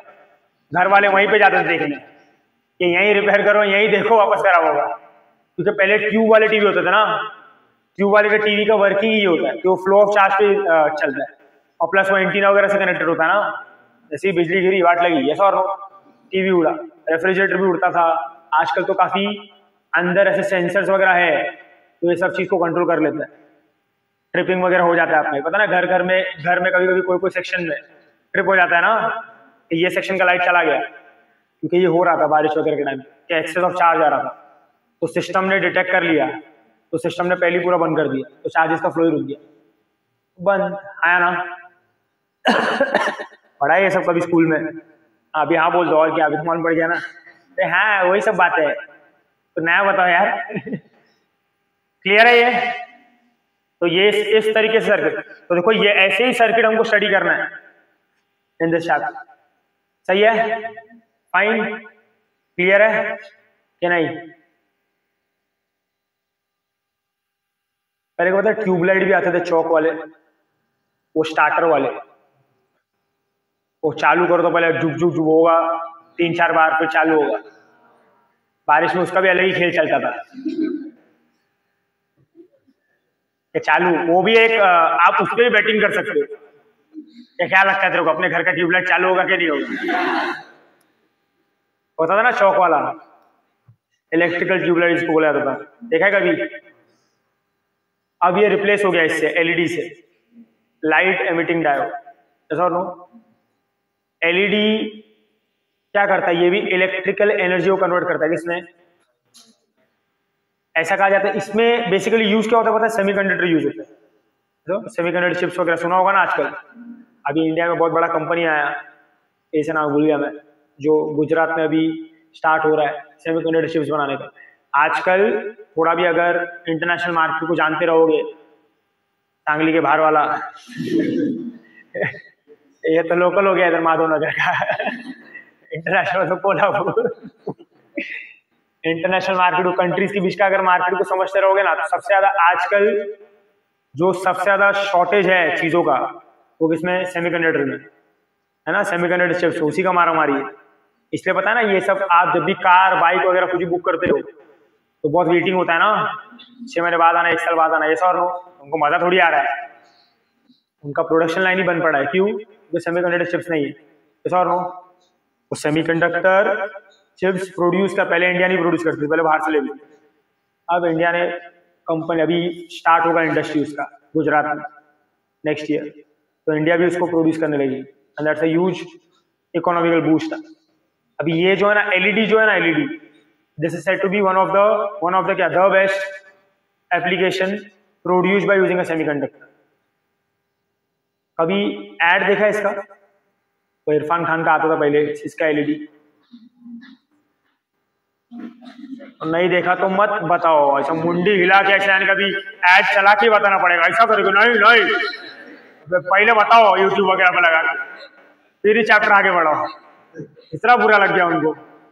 अभी कोई भी एलईडी का ऐड देखा ही नहीं। फिलिप्स का सिस्का का विप्रो ये सब होता है ना। एलईडी वगैरह बनाती है, ऐसा और नो। पता है उसके अंदर हमेशा ऐसा कहा जाता है कि एलईडी लगा लो, आपका लाइट बिल बहुत कम आएगा। और नो। इससे बहुत ज़्यादा आप पावर बचा लोगे। ये फैक्ट है ही नहीं आप? इस, अभी तो चलो सबके घर में एलईडी आ गया। अभी तो वो सब ट्यूबलाइट्स बंद भी हो गई तो पहले मिलती अभी तो सबके घर में एलईडीज होता आप जाके देखोगे तो वही बल्ब बीच में पता है, अभी तो वो सब भी बंद हो गया। बीच में ऐसे अलग अलग शेप के आते थे। ऐसा बना होगा, ऐसा बना होगा, वाकड़ा ऐसा। अलग अलग शेप के बल्ब ना ऐसा ऐसा करके। वो सब अलग अलग एलईडी बल्ब होते थे। एलईडी बल्ब का पावर कंजम्पशन काफ़ी कम होता है, जिसकी वजह से हमारे लाइट बिल पे काफ़ी इफ़ेक्ट होता है। और आप जितने भी डिवाइसेस देख लो, सब एलईडी से बने हुए आजकल एलईडी टीवी आता है, ये देखो एसी पे भी जो नोटिफिकेशन आ रहा है, चौबीस, पच्चीस, जो भी टेम्परेचर है ये ये सब क्या है? एलईडी आपके मोबाइल का स्क्रीन किससे बनता है अभी? एलईडी से, है ना? पहले एलसीडी होता था। लिक्विड क्रिस्टल डिस्प्ले करके। अभी क्या है? एलईडी। ऐसा और नो आपका टेलीविज़न एलईडी का है, इसमें एलईडी है, कहीं पे भी जाओ, सब जगह एलईडी लगाओ। अभी तो जो कार वगैरह में भी जो बल्ब लगता है, वो एलईडी का ही होता है। एलईडी का पावर कंजम्पशन जो होता है ना, वो ज़ीरो के बराबर होता है। समझ में आ रहा है क्या? इतना ब्यूटीफुल चीज़ है ना कि चल रहा पावर पे, पर पावर कंजम्पशन ज़ीरो है। सीधा आइडियोलॉजी बिहाइंड इट क्यों पता है क्योंकि ये जो है ना एलईडी बल्ब ये कभी हीट प्रोड्यूस नहीं करता। आप इसको कितने घंटे बाद भी चिपका के देखो। मतलब चिपक कर चिपका के मतलब हाथ ला के देखो। आपको एक नॉमिनल सा ऐसा लगेगा थोड़ा सा गर्म हुआ है कितने भी घंटे बाद। आपको कभी चटका नहीं लगेगा वो लगा। कभी बल्ब का इलेक्ट्रिक बल्ब का चटका खाया? ये बहुत सारे शूरवीर हैं यहाँ पे। कसम जो बदन में से आत्मा निकल जाती होता है, दो मिनट के लिए। क्या चीखे क्या चिल्लाए, उस पर क्या मलम लगाए क्या करे, समझ में नहीं आता। ऐसा भयानक चटका देता है वो। एक 60 वैट का बल्ब इतना पावर कंज्यूम करता है, पता है, फिर वो हेलोजन आता है। वो तो लगा दो, देखो रात भर तुम्हारा दूसरे दिन तुम्हारा आधी प्रॉपर्टी निकल जाए लाइट बिल के अंदर। इतना महँगा होता है। क्यों? क्यों? उसका पावर कंजम्पशन बहुत ज़्यादा। सुनो सुनो सुनो। पावर कंजम्पशन इज़ ह्यूज बराबर है? पर ये एलईडी का ना पावर कंजम्पशन बहुत ज़ीरो होता है, क्योंकि it can not produce heat energy क्योंकि इसमें ना ऐसा मटेरियल यूज़ किया गया है। Silicon arsenic phosphide silicon arsenic gallium arsenide वगैरह कंपाउंड सेमीकंडक्टर होता है ये। इसका नेचर ही है। कोई भी सेमीकंडक्टर ना आपको एनर्जी दो फॉर्म में दे सकता है। एक है या तो हीट एक है या तो लाइट जो लाइट देगा ना वो हीट नहीं देगा। और जो हीट देगा वो लाइट नहीं देगा। तो आपने कौन सा मटेरियल लगाया? हीट देने वाला कि लाइट देने वाला? और जब वो लाइट दे रहा है तो पूरा लाइट ही दे रहा है। हीट कुछ भी नहीं दे रहा है। बोलो, कोई भी डिवाइस ज़्यादा पावर कंज्यूम कब करता है? जब वो हीट देता है ना। इससे देखो ना, आपके घर में लगे हुए डिवाइस पे सबसे ज़्यादा इलेक्ट्रिसिटी बिल किसकी वजह से आता है? एसी की वजह से, गीजर की वजह से रेफ्रिजरेटर ये एयर कंडीशनर की वजह से आया ना? रेफ्रिजरेटर की वजह से ये सॉर ये मेजर सोर्स है ना। क्या कंज्यूम करने का? पावर और इसी की वजह से प्रॉब्लम भी हो सकता है। ना? एक डिवाइस है गीजर। है ना? तो गीजर बहुत ज़्यादा पावर कंज्यूम करता है। अब पूरा एक दिन छोड़ के चले जाओ। तो घर वाले अपने घर से निकालने के बाहर आ जाते हैं। बाबा, आधा प्रॉपर्टी चला गया तेरे चक्कर में इधर। गीजर आपके घर में होगा। देखो, अभी तो ऑटोमेटिक गीजर आ गया। जो स्विच ऑन स्विच ऑफ़ हो जाता है अपने आप। पानी गर्म हुआ तो बंद हो जाएगा, एक टेम्परेचर के बाद। पहले गीजर ऐसे नहीं होते थे। पहले वो गर्म करते ही जाएगा। कि मरो, जल के मरो। छाती छिलवा लो पानी से। और पहले ऐसा होता था कि अगर आप ऑन करके उसको 10 मिनट में ऑफ़ करना भूल गए और नहा के ऐसे ही निकल गए और अगर वो तीन चार घंटा चालू रह गए और आप बाहर निकल गए तो आपका जो घर है, वो घर था हो जाता है। क्योंकि सीधा घर ही जलाता है वो। आग लग जाएगी, पूरा स्विच स्विच सब पिघल जाता था। और पूरा घर अभी तो आजकल तो बहुत टेक्नोलॉजी आ गया उसके अंदर। कि वो स्विचिंग आ गया है सेंसर आ गया है, पता है कि नहीं? होगा भी लोगों के घर में। कि आप उसको घुमाते ही तो बंद हो जाता है, चालू हो जाता है। नॉब के साथ ही, वो टैप के साथ, आया ना? और फिर वो भी आता है सेंसर वाला। अपना हाथ घुमाया तो चालू, हाथ घुमाया तो बंद। नहीं है? ये ज़्यादा अमीरी चाहिए इसके लिए। तो नहीं, हमारे घर पर स्विच वाला है और मेरे को मत देखो ऐसा। आधे लोग का तो क्लास इसी में छूट जाए आधा घंटा अलग अलग गेम चल रहा है। घर वाले ठोकरे बोले, बाहर निकल। रुको अलग मस्त मिक्सचर बोले, गरम गरम ठंडा का बंद हो जाए अंदर ही। अलग कंप्लेंट लेके आए मीटिंग में, सर, बेटा बाहर ही निकल रहा बाथरूम के। सेंसर लगा दिया अंदर अलग। वो फिर तो कुछ लोग ऐसे ही मोबाइल पे चालू हो जाए बताए उसके तो मोबाइल भी आप कनेक्ट कर दे। दादा वादा नहा रहे उसको, अचानक इधर से घुमा के पानी गर्म से ठंडा। दादाजी बाहर आके कंप्लेंट कर रहे हैं। ऐसा कभी किया है कि नहीं? थोड़ा ऊपर जाके बहुत फटके पड़ेंगे पर ऐसे पहले बहुत कांड किए। अरे पहले आपके घर में वो टेलीफोन होता था, वो वायर वाला। मोबाइल फ़ोन नहीं होता। उसमें ना ऐसा एक सिस्टम था। अब वन सिक्स वन दबाओगे ना फ़ोन उठाओ वन सिक्स वन दबाओ, वापस रख दो तो वो खुद ही बेल रिंग होता है, वही फ़ोन में। तो एक बार एक दोस्त के घर पे गए थे। वो दोस्त नहीं था, उसके दादा थे। और हम दो दोस्त थे। बार बार वन सिक्स वन दादाजी आ रहे फ़ोन उठा कोई बोलने में तैयार नहीं है। दादाजी परेशान। लास्ट बाहर ही निकाल के रख दिया। तो तेल लगाने जाए ऐसे सब करना होता घर पे। और बड़ा एक दो दादा निकल लिए भाई। हमारे पे आ जाएगा, बोले, क्या सिखा दिया है? तो ये सब गीजर वगैरह में ज़्यादा खर्चा होता है। पर देखो, आप अभी तो गीजर ऑटोमेटिक हो गया ना। कहने का मतलब ये कि जो भी हीट कंज्यूमिंग डिवाइस होता है ना उसके से लाइट भी काफ़ी ज़्यादा आता है। पर क्योंकि हमने इसको एलईडी वगैरह से रिप्लेस कर दिया तो अब काफ़ी कम आता है लाइट में और प्लस पता है, इनका वारंटी भी काफ़ी ज़्यादा होता है। ये बल्ब लेने जाओ आप। सबसे ज़्यादा दिलदार इसके बेचने वाले ही होते पाँच साल का वारंटी सात साल का तुम्हारे मरने तक का वारंटी हाँ क्यों? हीट कंजम्पशन नहीं है ना तो खराब कैसे होगा? ऐसा और दिवाली में भी आता है, पता है? वो लगाते हो आप घर पे। वो डेकोरेशन वाली लाइट होती है ना। कौन सी लाइट डिस्को लाइट अरे दिवाली दिवाली पे घर पे कौन सा डिस्को हो रहा है यार? इधर कोई अच्छी बात है दिवाली के डिस्को देखा है वो लाइट देखा है अलग अलग पैटर्न वाली। वो सब कौन से बल्ब होते हैं एलईडी बल्ब ना? उसको हाथ लगाओ कभी चटकान लगेगा वायर को लगाओ, चिपक जाओगे। दो सौ रुपए का आता है, पता ना वो? आपको एक एलईडी बल्ब का कॉस्ट पता है नहीं? एक रेड एलईडी बल्ब लेने जाओगे मार्केट में, कितने का आएगा? एक रुपए का यस और कितने रुपए का आता है? एक। पूरा दो सौ रुपए का लाइट दे रहा है तो समझ में नहीं आ रहा है। कम से कम दो सौ बल्ब तो होते हैं ना उसके अंदर। तो फिर क्या, एक रुपए का आता है वो। वो भी अलग अलग कलर का एलईडी बनाओगे ना अलग अलग कॉस्ट का होता है। सबसे सस्ता कौन सा होता है रेड सबसे महँगा होता है ब्लू वाला, पाँच रुपए का।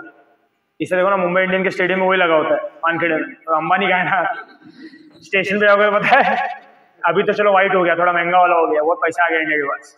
पहले पता जो इंडिकेटर होता है वो रेड कलर का होता था? रेड कलर ना? सस्ता एलईडी अभी कौन सा हो गया? व्हाइट है। जाते हो स्टेशन वेशन किधर के नहीं? सही है ना, ये देखो, इसमें भी व्हाइट एलईडी है अभी। पहले ये भी रेड में आता था, पुराने एसी में। अभी व्हाइट हो गया। पहले तो छोटा सा बल्ब होता था ना यार। वो रेड हुआ कि ग्रीन हुआ, उससे समझ जाने का एसी चालू है बंद है। ऐसा और नो, आपके सेटो बॉक्स में भी होता है। रेड ग्रीन येलो येलो वाला क्यों, मेरे को आज तक नहीं समझा। किसको मैं ऐसा और नो तो ये सब किसका खेल है? एलईडी ये भी बनाना सीखते हो आप सेमीकंडक्टर में। एलईडी बनता कैसे? समझ में आ रहा है? काफ़ी इंटरेस्टिंग पार्ट है। प्रोवाइडेड आप कितना ध्यान करना चाहते हो चैप्टर का, वो आप पे। सही है? है तो मज़ेदार। ठीक है? चलो नोट डाउन करना। और फिर उसके बाद हम थोड़े बहुत फॉर्मूला वगैरह भी करते हैं।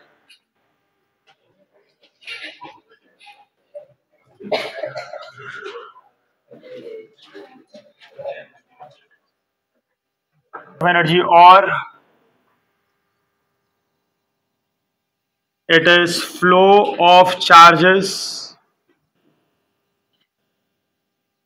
per unit area per unit time passing through an area this flow of charges per unit time passing through an area बताया ना आपको करंट का फॉर्मूला क्या होता है क्यू बाय टी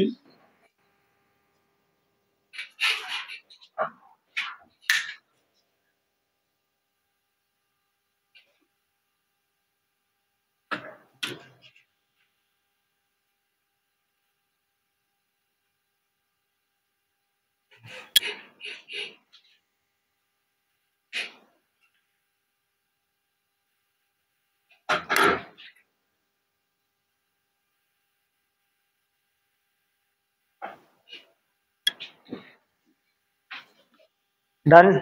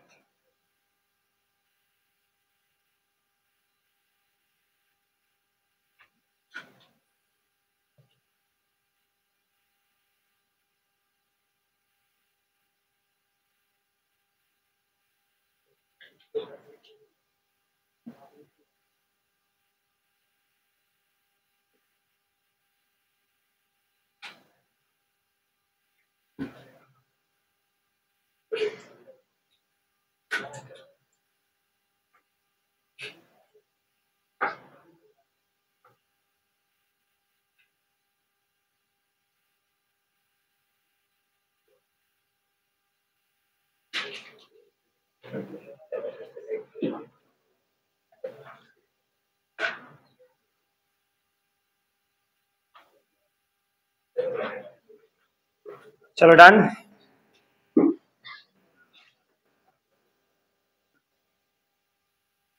हो गया ना ये?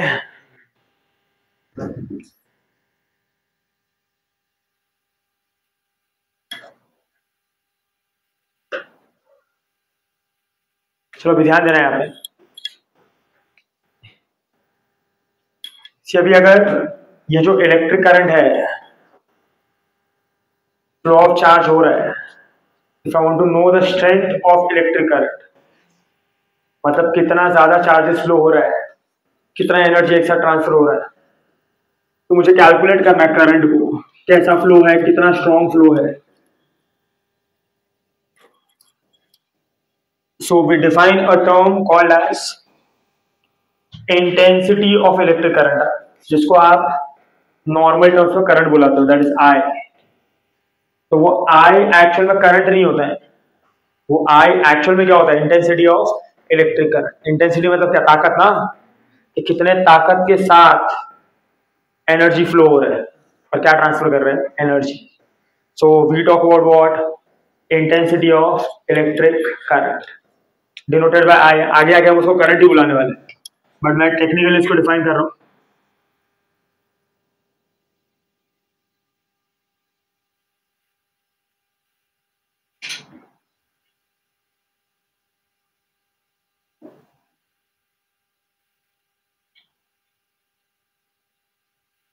इंटेंसिटी ऑफ़ इलेक्ट्रिक करंट सही है? सो बोलो इंटेंसिटी ऑफ़ इलेक्ट्रिक करंट क्या होगा? Rate of flow of charge passing through an area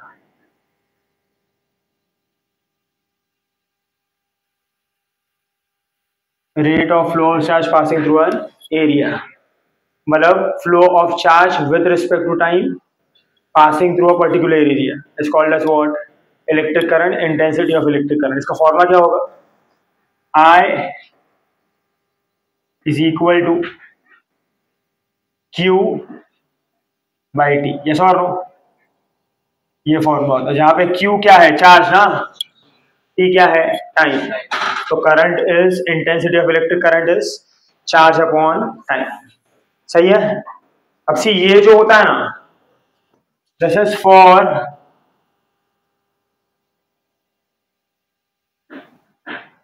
uniform flow uniform flow मतलब क्या?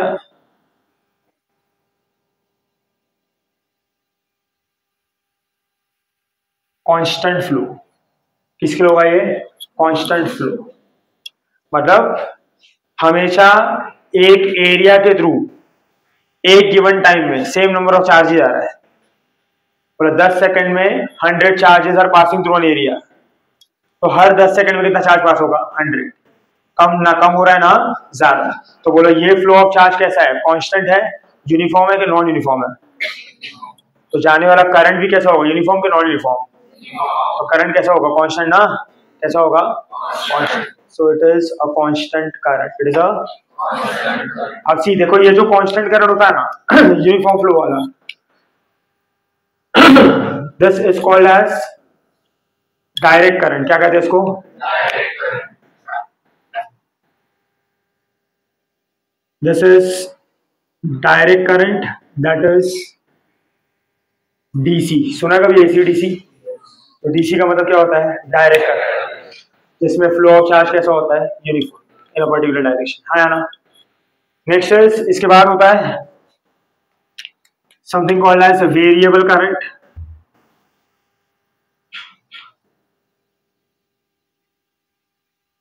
बोलो वेरिएबल करंट में भी क्या होगा?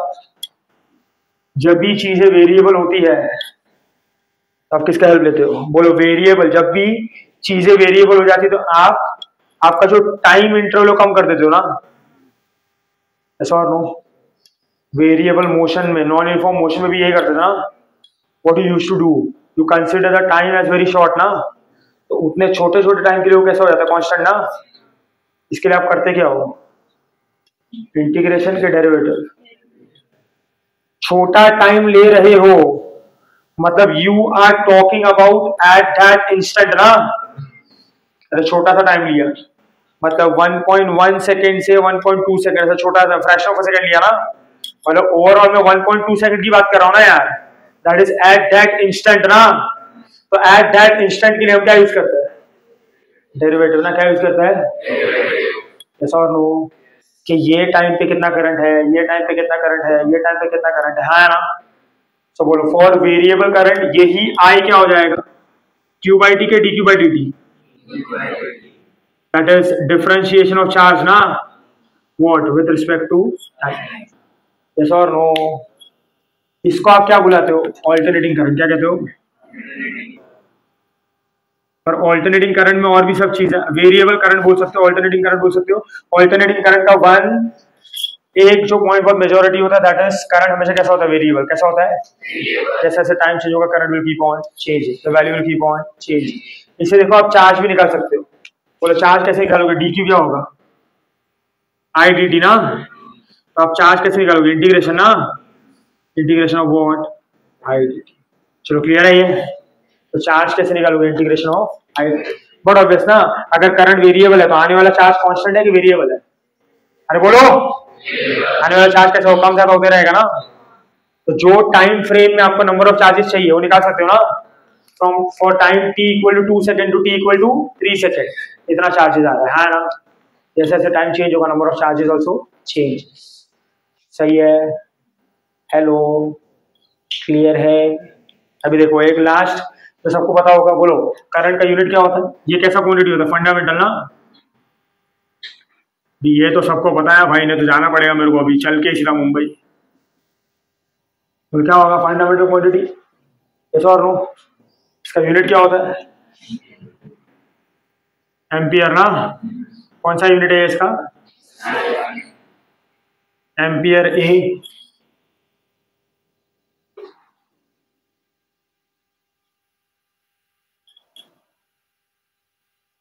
इसको पता है इसका सीजीएस यूनिट क्या होता है? बोले, अभी नया आया, मेरे को तो लगा था मेज़रमेंट चैप्टर आता है मेरे को। हाँ? अरे बाबा तो चार्ज का क्या होता है? कूलम। सी, कभी सुना नहीं, आपने पहली बार सुन रहे हो? ध्यान देना है सी, इसका सीजीएस यूनिट होता है।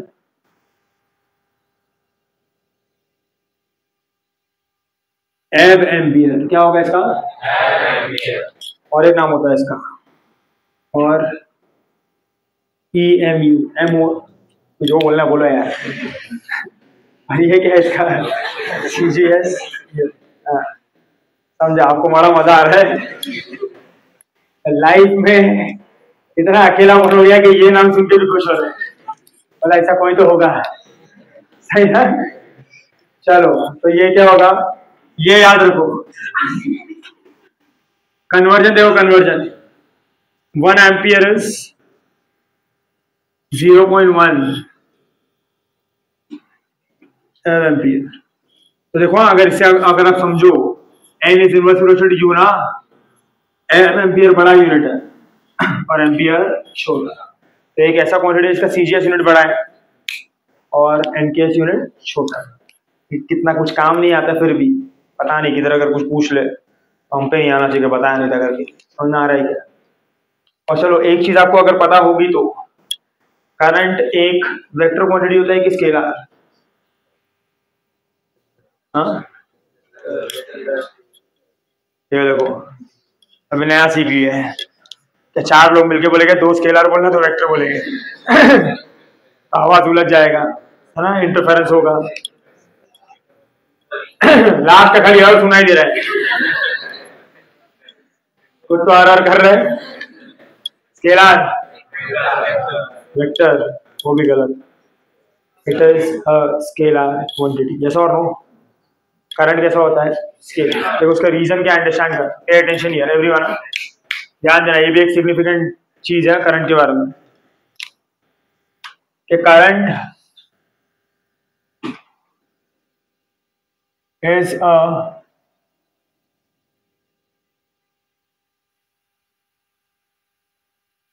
scalar quantity current कैसा क्वांटिटी है एक?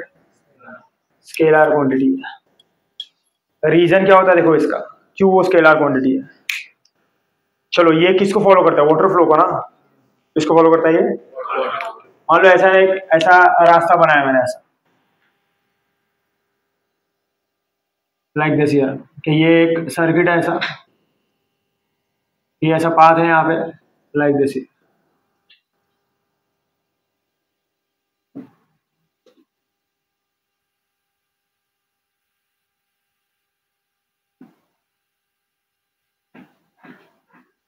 यहाँ पे जा रहा है ऐसा। करंट इसके थ्रू फ्लो होगा ऐसा। दो रास्ते हैं।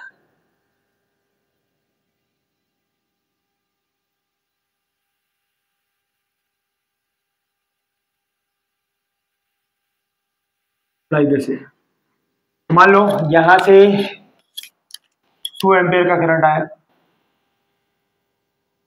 और यहाँ से आया थ्री एम्पियर सही है? ये करंट इधर से आया, ये करंट इधर से आया, इधर मिलेगा ना? तो चलो यहाँ से जाने वाला करंट कितना होगा? पानी इधर से आया दस लीटर, पानी इधर से आया दस लीटर, मिलकर कितना होगा? ये समझता है ना? तो करंट कितना आया? दो। अरे बाबा, इधर से कुछ चार्जेस आए ना?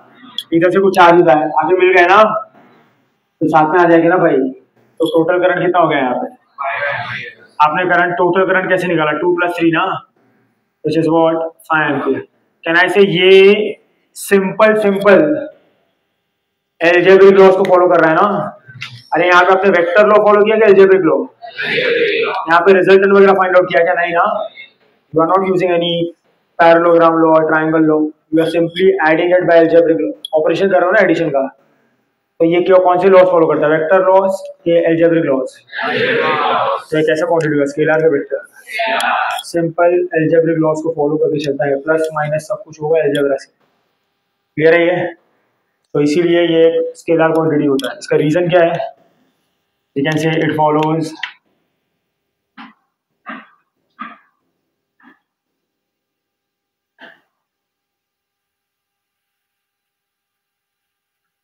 algebraic laws addition simple addition subtraction पे काम करता ही ठीक है? पैसा चलेगा। चलो फाइन तो करंट एक ऐसा क्वांटिटी होता है चलो नोट डाउन करना, फिर आगे बात करता हूँ। एड ऑफ़ फास्ट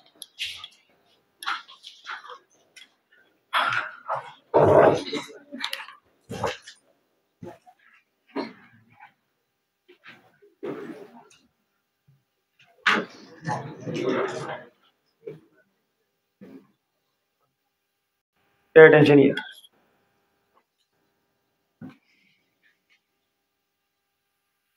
सभी next Everyone please on the board.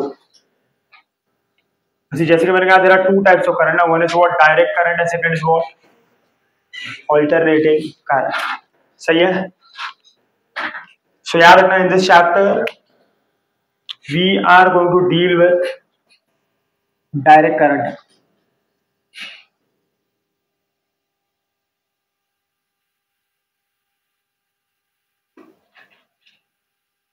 हमारा पूरा फोकस किस पे डायरेक्ट करंट और डायरेक्ट करंट के लिए हमारा जो सर्किट होता है वो छोटा सा होता है।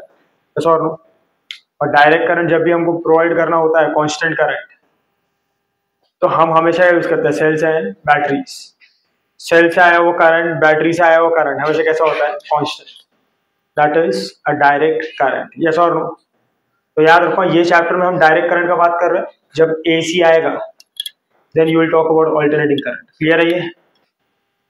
चलो अभी आगे बढ़ते हैं। जब हम बात करते हैं वो डायरेक्ट करंट तब देखो डायरेक्ट करंट के लिए ये तो हमको समझ गया कि हम क्या यूज़ करने वाले सेल्स एंड बैटरीज प्लस ये चार्जेस फ्लो किसमें होगा? कंडक्टर में ना? कंडक्टर मतलब क्या? मेटेलिक वायर आया ना? मेटेलिक वायर्स है कंडक्टिंग वायर है, उसके अंदर ये चार्ज फ्लो होने वाला है। आया ना? और हमने एक चीज़ ये कहा था कि जब भी करंट फ्लो होता है तो करंट के फ्लो के लिए सबसे ज़्यादा जो नेसेसरी है। दैट इज़ पोटेंशियल डिफरेंस ना। Without potential difference current can not flow तो चलो अभी टेक्निकली रीजन को अंडरस्टैंड करते हैं कि वाई इज़ दिस हैपनिंग कि without potential difference there can be no current ऐसा क्यों होता है? अंडरस्टैंड करना अभी। तो चलो सब लोग अभी ध्यान देना बोर्ड पे। इसके साथ साथ I am going to define the very first important term something called as drift current और उसी का आज फॉर्मूला डिराइव करेंगे, अगर टाइम मिला तो ठीक है? और उसके पहले एक्सप्लेनेशन समझो कि पोटेंशियल डिफरेंस क्यों रिक्वायर्ड बहुत इंपॉर्टेंट है ये अंडरस्टैंड करना। है कि why do we require potential difference है, यहाँ पे लिख देता हूँ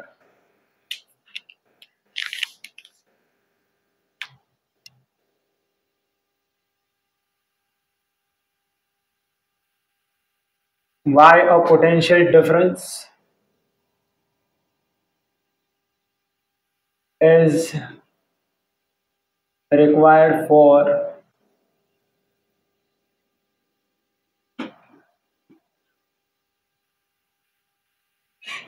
electric current समझ में आ रहा है? क्यों रिक्वायर क्यों चाहिए हम चलो मान लो मैं यहाँ पे ना एक ऐसा मेटालिक कंडक्टर लेता हूँ। ध्यान से कान खोल के बराबर सुनना, क्या बात कर रहा हूँ मैं? मान यहाँ पे ऐसा एक मेटालिक कंडक्टर है।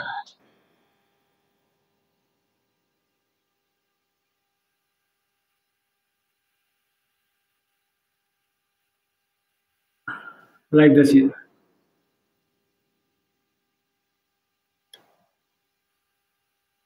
ये कैसा कंडक्टिंग वायर उसका शेप कैसा होगा सिलेंड्रिकल ना? चलो, कुछ बातें आपको बेसिक पता होने चाहिए केमिस्ट्री से। दैट इज़ अगर मैं एक कोई भी मेटल का बात करता हूँ तो उसमें there are huge number of free electrons ना। Huge number of free electrons होते हैं। ऑन एन एवरेज एक मेटल में जो इलेक्ट्रॉन्स का डेंसिटी होता है is ten raise to twenty eight electrons per centimetre cube yes और नो एक सेंटीमीटर क्यूब में कितने इलेक्ट्रॉन्स होता है? Ten raise to twenty eight मतलब ऐसा बोल सकते हो कि मेटल जो है, एक मेटलिक कंडक्टर एक मेटलिक वायर एक मेटल में there huge huge huge number of free electrons और यही फ्री इलेक्ट्रॉन्स को इलेक्ट्रिकल एनर्जी दे के हम भगाते हैं। और वो इलेक्ट्रिक एनर्जी को ट्रांसफ़र करता है from one point to other point सही है? अभी ऐसा कहा जाता है कि कोई भी मेटल का नेट चार्ज ना ज़ीरो होता है मतलब उसके ओवरऑल चार्ज कुछ नहीं होता है। नेट चार्ज ज़ीरो क्यों होता है? क्योंकि ये इलेक्ट्रॉन किसमें से निकले होते हैं? एटम्स में से ना? तो अगर एक एटम में से इलेक्ट्रॉन निकल रहा है तो इलेक्ट्रॉन का चार्ज नेगेटिव तो एटम का चार्ज कैसा हो जाएगा? पॉजिटिव अब जितने एटम से उतने इलेक्ट्रॉन निकले तो ओवरऑल प्लस चार्ज और माइनस चार्ज कैसा सेम है। तो नेट चार्ज कैसा हो जाएगा? ज़ीरो तो ये याद रखो कि net charge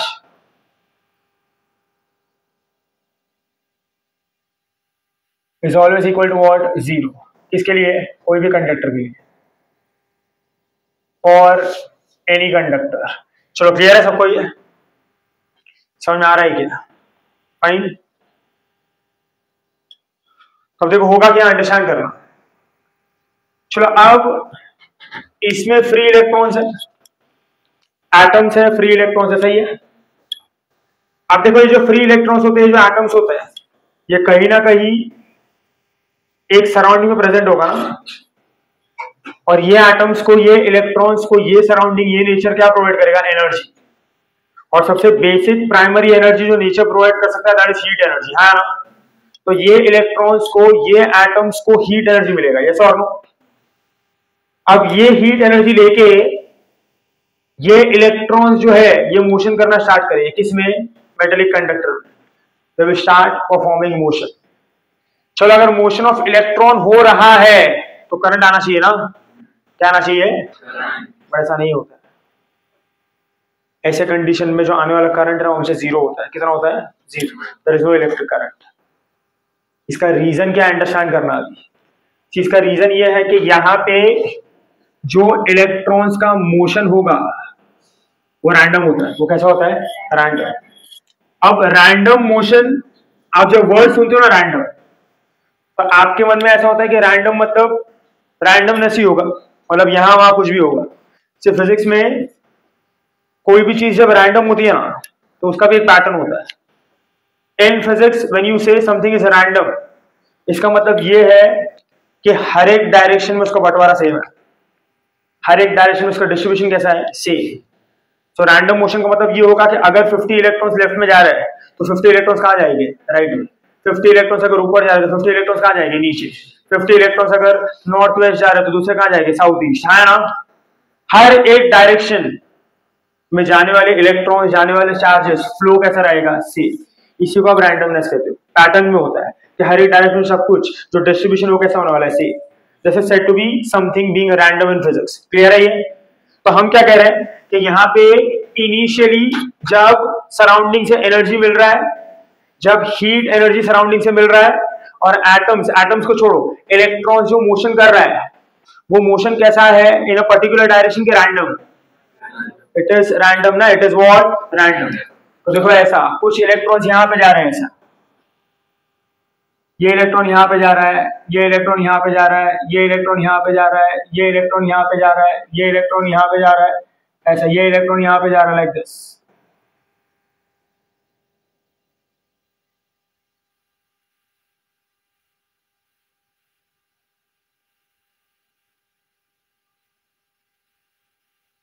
सही है ऐसा? Yes or no? Like this. So, all the electrons are performing what? Random motion. चलो जब रैंडम मोशन होगा, हर एक डायरेक्शन में इलेक्ट्रॉन का फ्लो सेम होगा। तो आपको क्या लगता है? आने वाला करंट का कुछ ना कुछ वैल्यू होगा कि आने वाला करंट ज़ीरो होगा? क्योंकि सब एक दूसरे को कैंसिल आउट करेगा ना। अभी आप इसको समझो टेक्निकली करंट का डेफिनेशन क्या है? करंट का डेफिनेशन है flow of charge per unit time passing through an area. सही है? मतलब चार्जेस को एक एरिया क्रॉस करना पड़ेगा ना? तब जाके आप क्या कहोगे कि चार्जेस फ्लो हुए with respect to what time अब देखो यहाँ पे होता क्या है? व्हाट हैपेंस हियर सुनो सुनो सुनो प्लीज़ ध्यान देना है यहाँ पे। बोलो, हर एक इलेक्ट्रॉन रैंडम डायरेक्शन में हर एक इलेक्ट्रॉन एक पर्टिकुलर डायरेक्शन में ओवरऑल ये अगर ऊपर जा रहा है तो एक नीचे जा रहा है, एक लेफ़्ट में जा रहा है, एक राइट में सब एक दूसरे को बैलेंस करने के लिए है ना? जिसकी वजह से हो क्या रहा है आई से जिसकी वजह से एवरेज वेलोसिटी है वो ज़ीरो आएगा। क्योंकि वी एवरेज क्या होता है? जब भी आप एवरेज वेलोसिटी निकालते हो तो एवरेज वेलोसिटी क्या होता है? जितने भी यहाँ पे पार्टिकल्स है, जितने भी यहाँ पे इलेक्ट्रॉन्स है, सबका स्पीड आप ऐड करोगे और नंबर ऑफ़ इलेक्ट्रॉन से डिवाइड करोगे ना? बट क्योंकि वो वेलोसिटी है, क्योंकि वो वेक्टर क्वांटिटी तो आपको डायरेक्शन में लेना पड़ेगा। तो एक अगर ऊपर जाए तो दूसरा नीचे जाए तो अगर एक को आपने प्लस से दूसरे को क्या लेना पड़ेगा? तो कहना ऐसे ऐसे दस इलेक्ट्रॉन इधर गए, ऐसे दस इलेक्ट्रॉन इधर गए, ऐसे दस इधर, ऐसे दस इधर। तो कहना ऐसे ये दस प्लस ये दस माइनस ना? ये दस प्लस ये दस माइनस ना? तो ओवरऑल सब एक कैंसिल आउट करेगा। तो एवरेज वेलोसिटी का वैल्यू कैसा आएगा? सही है? समझ में आ रहा है कि नहीं? देखो ना, अगर मैं ऐसे लिखूं कि चलो, ये इलेक्ट्रॉन इधर जा रहा है तो ये कैसा होगा? प्लस वी वन बट ये इलेक्ट्रॉन तो इधर जा रहे हैं ना। तो ये क्या होगा? माइनस वी टू सही है? प्लस ऊपर जाए तो V three minus V four ऐसा ले लिया। Divide by four divide by N जो भी लेना है आपको। अरे बाबा, सारे इलेक्ट्रॉन से सबको सेम एनर्जी मिल रहा है। सबके जाने वाला स्पीड कैसा रहेगा? सेम ऑलमोस्ट कैसा रहेगा? सेम ना? तो बोलो, सब एक दूसरे को कैंसिल आउट करेगा कि सेम रहेगा? कैंसिल आउट ना? तो ओवरऑल एवरेज वेलोसिटी कितना आ रहा है? Net average velocity is zero for the whole conductor बोलो, अगर नेट एवरेज वेलोसिटी ज़ीरो है इलेक्ट्रॉन्स का तो क्या कोई डिस्प्लेसमेंट होगा? क्योंकि एवरेज वेलोसिटी का फॉर्मूला क्या होता है? Total displacement upon time average velocity zero तो डिस्प्लेसमेंट भी क्या होगा? ज़ीरो तो टेल मी टोटल डिस्प्लेसमेंट भी यहाँ पे क्या होगा? ज़ीरो अरे बोलो, अगर टोटल डिस्प्लेसमेंट नहीं है if there is no net displacement if there is no total displacement can i say कि चार्जेस ने एरिया को पास किया है? किया है कि नहीं किया है? और अगर चार्जेस एरिया को पास नहीं करा मतलब चार्जेस का मोशन नहीं हुआ है ना और अगर चार्जेस का मोशन नहीं हुआ है तो वो एरिया तो वो करंट है कि नहीं है? तो नेट करंट क्या होगा? नेट करंट क्या होगा? So as total displacement is zero charges are not flowing.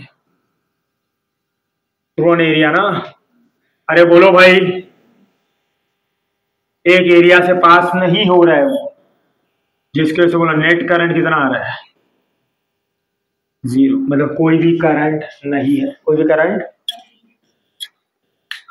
तो नेचर जो थर्मल एनर्जी देता है, उसकी वजह से चार्जेस मोशन करता है। बट ओवरऑल एवरेज वेलोसिटी कैसा आता है? ज़ीरो एवरेज डिस्प्लेसमेंट कैसा आता है? ज़ीरो जिसकी वजह से ओवरऑल कोई भी एरिया के थ्रू चार्जेस पास नहीं होता और अगर चार्जेस पास नहीं हो रहा है तो करंट पास होगा कि नहीं होगा? क्योंकि फ्लो चार्ज देख ही नहीं रहा है। यस और नो तो करंट क्या है? ज़ीरो तो can I say due to thermal energy heat energy is there any current और can I say thermal energy की वजह से चार्जेस यहाँ तो भाग रहा है ना? पर नेट इफ़ेक्ट क्या दे रहा है? ज़ीरो तो थर्मल एनर्जी की वजह से चार्जेस यहाँ भाग रहा है मतलब उसका वेलोसिटी तो है। वो वेलोसिटी को हम कहते हैं थर्मल वेलोसिटी कौन सा वेलोसिटी क्या लगता है आपको ये थर्मल एनर्जी की वजह से थर्मल वेलोसिटी की वजह से करंट ज़ीरो आता है कि नॉन ज़ीरो बोलो। क्या आ रहा है? वी से कि ये जो करंट ज़ीरो है किसकी वजह से है? So we say that due to thermal energy yes और no that is what thermal velocity कितना आ रहा है करंट स्पीड काफ़ी हाई रहता है. You can say it is around 10 to 5 metre per second electron भाग पर फास्ट रहा है. बट क्या फ़ायदा एवरेज कैसा है? ज़ीरो डिस्ट्रीब्यूशन कैसा है? ज़ीरो करंट कैसा है? Zero so what do you think due to thermal energy due to thermal velocity is there any current बोलो. अभी करंट तो नहीं आ रहा. ये एनर्जी की वजह से मतलब अपने आप तो करंट नहीं आने वाला है ना? तो अब यहाँ पे तो करंट नहीं है, इसकी वजह से कोई करंट नहीं आता। अभी हमको करंट चाहिए। तो करंट कैसे आता है और क्यों पोटेंशियल डिफरेंस का ज़रूरत पड़ता है? ध्यान देना अभी यहाँ पे। Pay attention here everyone on the board अब मान लो, यही सेम कंडक्टर को अब मैं वायर कनेक्ट करके मतलब पोटेंशियल डिफरेंस लगाता हूँ। बैटरी या तो सेल कनेक्ट करके। वायर नहीं बैटरी या तो सेल कनेक्ट करके क्या दूँगा मैं उसको पोटेंशियल डिफरेंस तो देखो ऐसा। ध्यान देना अभी यहाँ पे।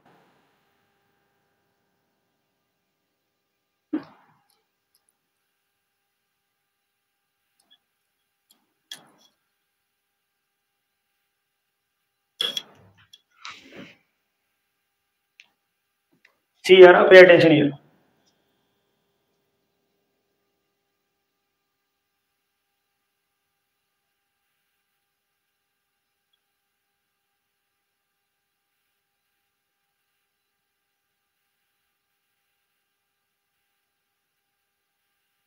अब इसको मैं क्या कनेक्ट करूँगा? सेल या तो बैटरी ना। ऐसे कनेक्ट कर दिया ऐसा।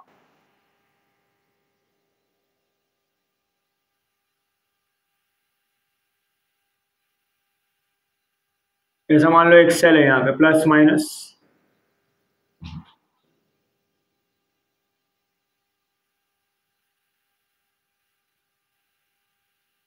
ये पोटेंशियल है सेल पोटेंशियल देगा। चलो अभी कोई भी पोटेंशियल कोई भी पोटेंशियल डिफरेंस की वजह से ना प्रोड्यूस होता है इलेक्ट्रिक फ़ील्ड क्या प्रोड्यूस होता है? कैसे जनरेट होता है? इलेक्ट्रोस्टैटिक में सीखोगे अभी के लिए याद रखो। ड्यू टू पोटेंशियल डिफरेंस क्या जनरेट होता है? इलेक्ट्रिक फ़ील्ड और इलेक्ट्रिक फ़ील्ड का डायरेक्शन हमेशा होता है प्लस से माइनस कहाँ से क्या होता है? बोलो देखो, ये प्लस इधर कनेक्टेड है ना? तो ये पॉजिटिव हो जाएगा। ये कैसा हो जाएगा? और ये इधर कनेक्टेड है ना? तो ये वाला सेक्शन क्या हो जाएगा? नेगेटिव तो ये क्या है? प्लस ये क्या है? माइनस इलेक्ट्रिक फ़ील्ड कहाँ से कहाँ होगा? प्लस से? फ्रॉम हायर पोटेंशियल टू तो ये रहा इलेक्ट्रिक फ़ील्ड ऐसा। ये इलेक्ट्रिक फ़ील्ड है। समझ में आ रहा है? अभी देखो कॉन्सेप्ट कैसे कनेक्ट होते हैं। मैंने आपको एम डबल इसी में सिखाया था। बोला, अभी ये कंडक्टर के अंदर क्या चार्जेस है ना? फ्री चार्जेस फ्री इलेक्ट्रॉन्स और बाहर क्या है इलेक्ट्रिक फ़ील्ड ये इलेक्ट्रिक फ़ील्ड किस पे अप्लाई हो रहा है? चार्जेस पे ना? सीखा था ना हमने कॉन्सेप्ट क्या था कॉन्सेप्ट कि चार्जेस के ऊपर इलेक्ट्रिक फ़ील्ड क्या अप्लाई करता है? फोर्स और वो फोर्स का फॉर्मूला क्या होता है? F is to Q E F to याद है? नहीं बोलो ये फोर्स के वजह से क्या होता है? इलेक्ट्रॉन्स जो है वो एक्सेलरेट होता है ना? वो क्या करता है? मोशन क्या करता है? मोशन सही है? क्लियर है? समझ में आ रहा है? तो याद है ना ये फ़िज़िकल क्यू ई वाला? तो देखो अभी होगा क्या? बोलो चार्जेस कैसे जा रहे हैं? Random M double E C में ना एम डबल ई सी में। हमने ऐसा कहा था कि चार्ज हमने इलेक्ट्रिक फ़ील्ड ऐसे अप्लाई किया था कि या तो वो चार्ज के डायरेक्शन में या तो चार्ज के ऑपोजिट डायरेक्शन में। ऐसा और नो हमने वो रेस्ट्रिक्ट कर दिया था। पर यहाँ पे देखो इलेक्ट्रॉन रैंडम है ना? कोई ऊपर जा रहा है कोई नीचे जा रहा है कोई लेफ़्ट में जा रहा है कोई राइट में जा रहा है कोई एक एंगल पे जा रहा है कोई नीचे जा रहा है कहीं से भी जा रहा है ना? तो जो भी उसके ऊपर इलेक्ट्रिक फ़ील्ड लग रहा है बोलो वो सेम डायरेक्शन ऑपोजिट डायरेक्शन में कोई भी रैंडम डायरेक्शन में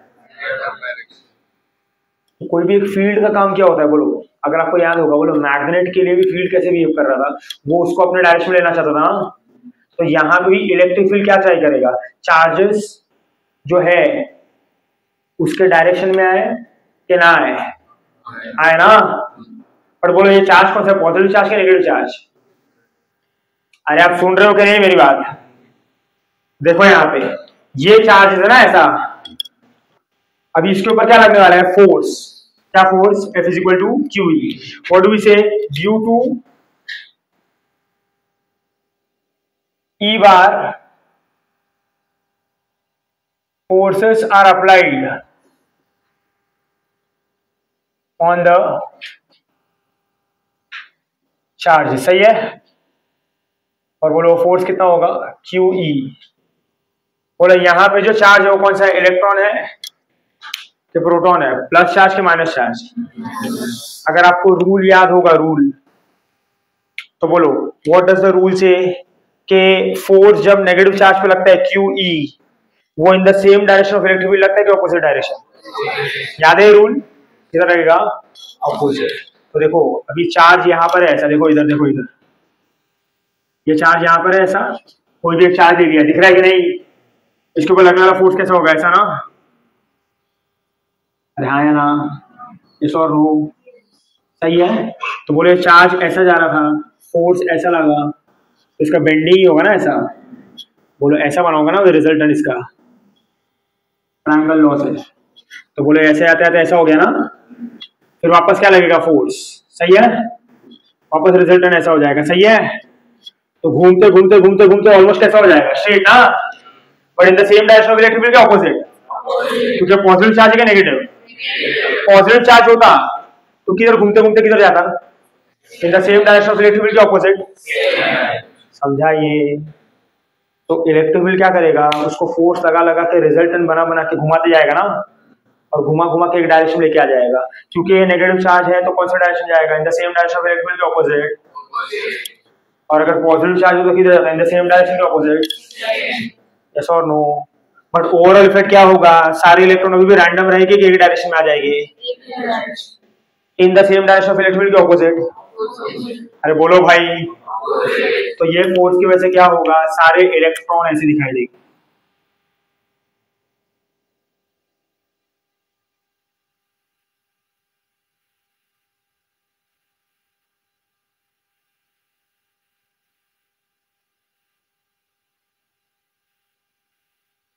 सही है?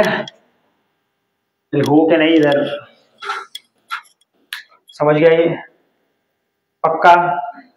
श्योर हो? अब क्या लगता है? विल द इलेक्ट्रॉन्स कैंसल ये इफ़ेक्ट समझा ना? तो what do you think will the electrons cancel out each other no ना?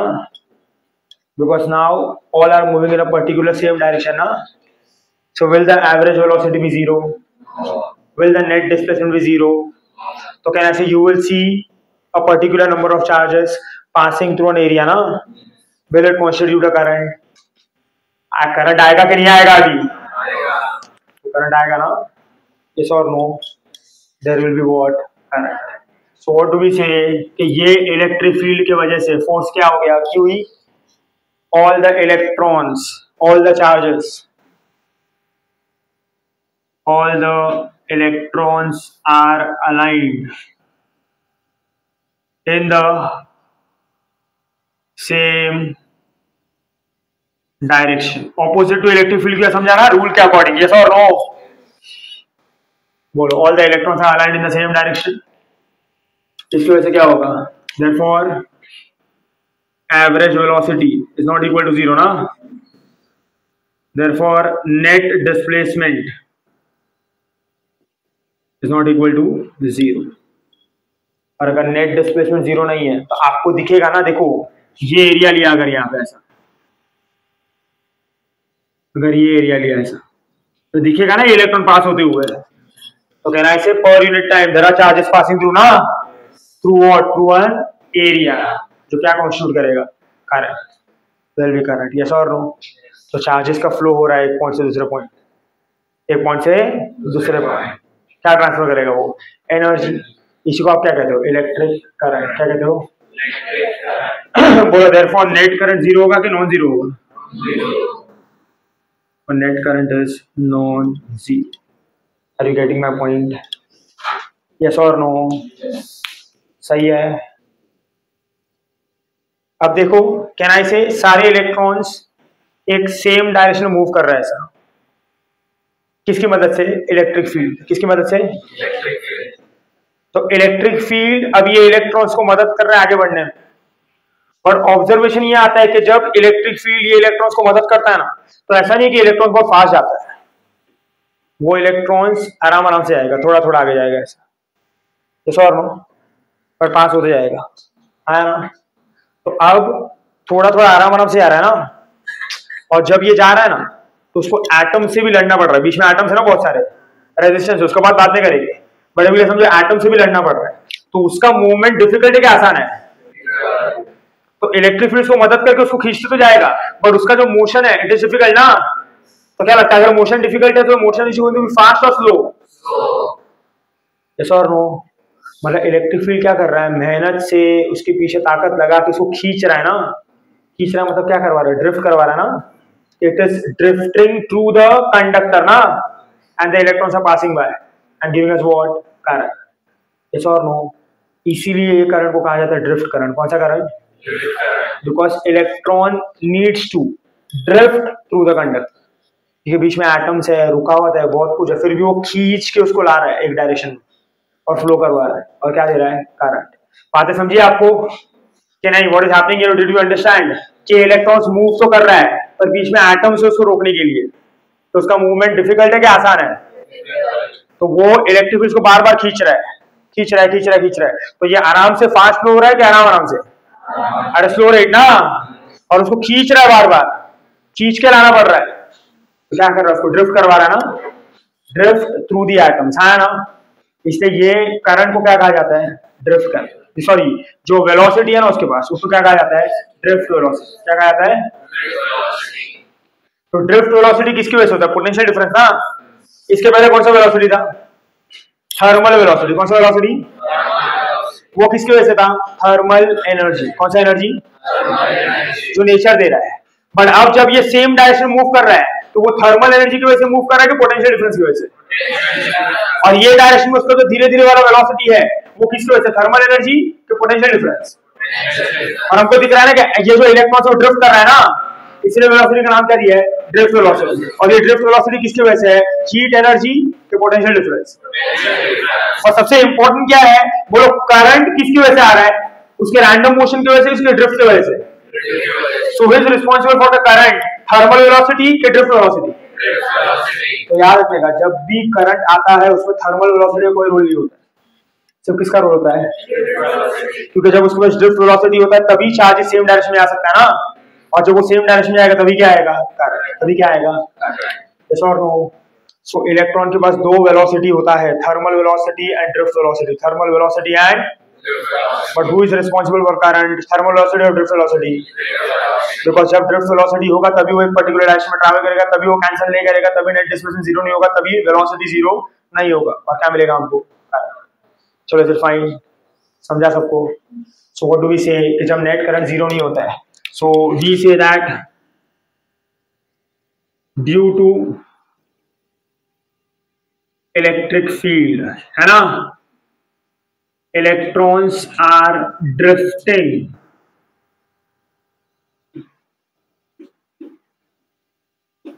through the conductor in a particular direction सही है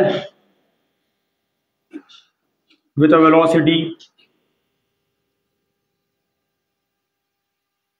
called as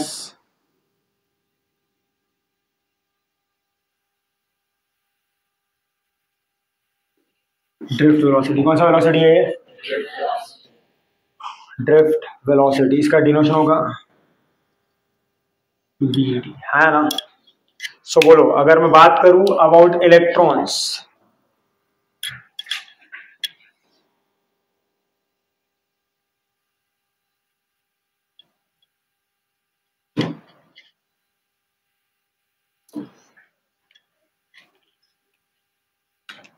So when I talk about an electron, तो electron के पास दो वेलोसिटी है। सबसे पहला है थर्मल वेलोसिटी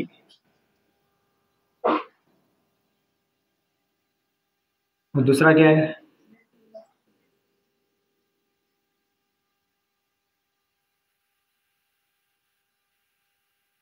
थर्मल वेलोसिटी का वैल्यू होता है approximately ten raise to five metre per second और ड्रिफ्ट वेलोसिटी का वैल्यू होता है ten raise to minus three metre per second. पर फिर भी बोलो करंट किसकी वजह से आता है? किसकी वजह से नहीं आएगा ना? ये है कौन? Responsible for current so only responsible current और किसकी वजह से भी करंट नहीं आता है?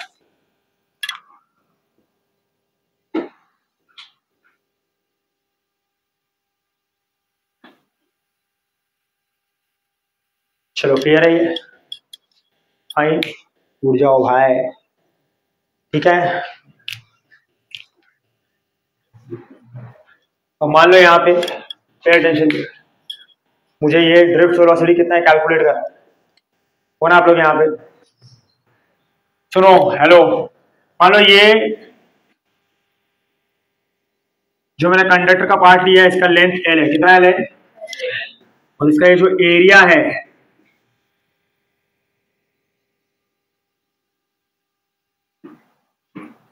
ये एरिया ऑफ़ क्रॉस सेक्शन है ए कितना है ये? एरिया ऑफ़ क्रॉस सेक्शन कितना है? ए लेंथ कितना है? एल हाँ ना? सही है?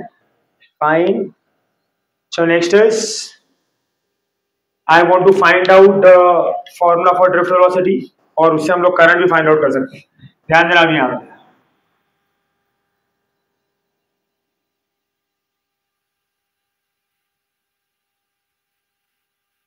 drift velocity V D drift velocity V D सही है? तो कैसे होगा अभी। दिखता है ना ये दिखता है सबको? मान लो एन लिया N small N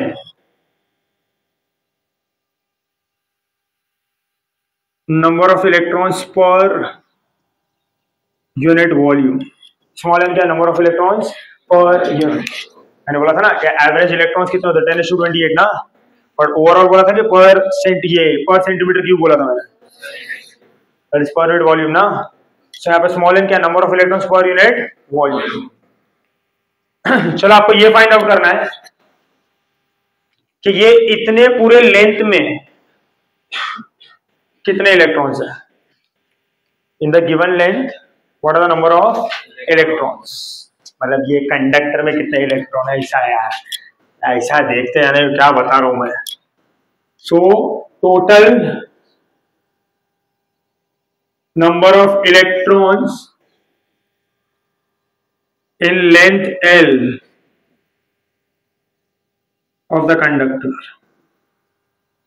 तो कितना होगा ये? यही ना, ये number of electrons per volume है। टोटल वॉल्यूम से मल्टीप्लाई करो, ये खत्म हो गया। या ऐसा। चलो ये कंडक्टर का वॉल्यूम क्या होगा? Area into L. I know number of electrons per unit volume ना? मुझे अगर total number of electrons find out करना है पूरे कंडक्टर में तो किससे मल्टीप्लाई करूँगा? वॉल्यूम से। वॉल्यूम क्या होगा? एरिया इंटू लेंथ तो ये मुझे क्या दे रहा है? Total number of electrons this is what total number of electrons अरे बाबा, हो आप लोग यहाँ पे कि नहीं? ये हो गया total number of electrons now I need to find out total charge total देखो टोटल चार्ज क्या होगा? अटेंशन इधर टोटल चार्ज ले लिया मैंने क्यू क्या ले लिया? ये टोटल नंबर ऑफ़ इलेक्ट्रॉन है. टोटल चार्ज चाहिए. तो टोटल नंबर ऑफ़ इलेक्ट्रॉन को किससे मल्टीप्लाई करूँगा? चार्ज ऑफ़ इलेक्ट्रॉन ना? एक इलेक्ट्रॉन का चार्ज क्या होता है? ई e, और नंबर ऑफ़ इलेक्ट्रॉन कितना? ये ना? तो टोटल चार्ज कितना हो जाएगा? E e. N A L अरे क्या बोलते हो? सही है? So what is total charge of this conductor E into N into A into L क्या भाई, समझ में आ रहा है कि नहीं? यस और no fine fine fine I बोल मुझे क्या फाइंड आउट ड्रिफ्ट वेलोसिटी ना? ड्रिफ्ट वेलोसिटी का वैल्यू कितना टेन टू माइनस थ्री और मैंने क्या बोला? यहाँ पे हम लोग कौन से करंट से डील कर रहे हैं? डायरेक्ट करंट या ऑल्टरनेटिंग करंट कॉन्स्टेंट करंट ना? बोलो, अगर करंट कांस्टेंट है तो चार्ज का फ्लो भी कैसा होना चाहिए? और अगर चार्ज का फ्लो कांस्टेंट है तो उसका ड्रिफ्ट वेलोसिटी भी कैसा होना चाहिए? और अगर वेलोसिटी कांस्टेंट है मतलब यूनिफॉर्म वेलोसिटी बोलो यूनिफॉर्म वेलोसिटी फाइंड आउट करना है। अगर एक कांस्टेंट वेलोसिटी फाइंड आउट करना है तो सिंपल सा एक फॉर्मूला है ना? कौन सा? डिस्टेंस अपॉन अरे लीनियर मोशन ना? तो डिस्टेंस और डिस्प्लेसमेंट सब कैसा रहेगा? Same so what is the form of drift velocity here distance upon क्या बोलते हो? सही है? So how do I find out now the Falcon Allah drift velocity is constant velocity ना तो खत्म हो गया है तो तो वी डी स्पीड ऐसे डिस्टेंस अपॉन टाइम यूनिफॉर्म है इसीलिए बराबर ना आगे तो वी डी डिस्टेंस कितना है? एल ना? पूरे की दूरी जाएगा लेंथ कितना होगा? एल क्या चाहिए आपको? टाइम ना? बोलो करंट का फॉर्मूला क्या है? क्यू बाई टी तो टी का फॉर्मूला क्या होगा? क्यू बाय तो सही ना? तो ये एल और ये क्या होगा? क्यू बाय आई फाइन तो देखो अभी, ये देखो, ये L into what I upon what Q but Q तो है ये रहा। तो बोलो L into I upon what ये एल एल गया। तो बोलो आपको आई का फॉर्मूला क्या मिलेगा? आई का। E N A V D E N this is the total current passing through the conductor आया ना? First formula for the current वो Q by T Q by T सबको याद रहता है? ये मेन है। E N A V D E क्या है? इलेक्ट्रॉन चार्ज एन क्या है? नंबर ऑफ़ इलेक्ट्रॉन्स ए क्या है? एरिया डी क्या है? ड्रिफ्ट और ड्रिफ्ट वेलोसिटी का फॉर्मूला चाहिए तो यहाँ से मिल जाएगा। वो वही फॉर्मूला से। I upon E N yes और no that is what drift velocity सही है? तो क्यों पोटेंशियल डिफरेंस ये समझा? तो अगर पोटेंशियल डिफरेंस नहीं होगा तो सारे इलेक्ट्रॉन का मोशन कैसा होगा? Random due to randomness total current हमेशा कैसा होगा? ज़ीरो बट जब आप पोटेंशियल डिफरेंस अप्लाई करते हो तो इलेक्ट्रॉन अभी भी रैंडम घूमता है कि एक पर्टिकुलर डायरेक्शन में? ड्रिफ्ट करता है ना वो? कौन से वेलोसिटी के साथ? ड्रिफ्ट वेलोसिटी और सारे के सारे चार्जेस एक डायरेक्शन में जाते हैं, एक दूसरे को कैंसिल आउट नहीं करता है। जिसकी वजह से क्या जनरेट होता है करंट और हमको करंट मिलता है। है ना? So he is responsible for current drift velocity drift velocity किसकी वजह से? Potential difference so who is responsible for current potential difference without potential difference there can be no current yes और नो तो ये इसका रीजन होता है। सबको क्लियर है ये? समझा सबको? So we are done with the first formula fine now चलो, ये नोट डाउन करना। और कल ये सब, जब भी लेक्चर होगा तो रिवाइज करके आना। ठीक है? चलो। रिवाइज करना।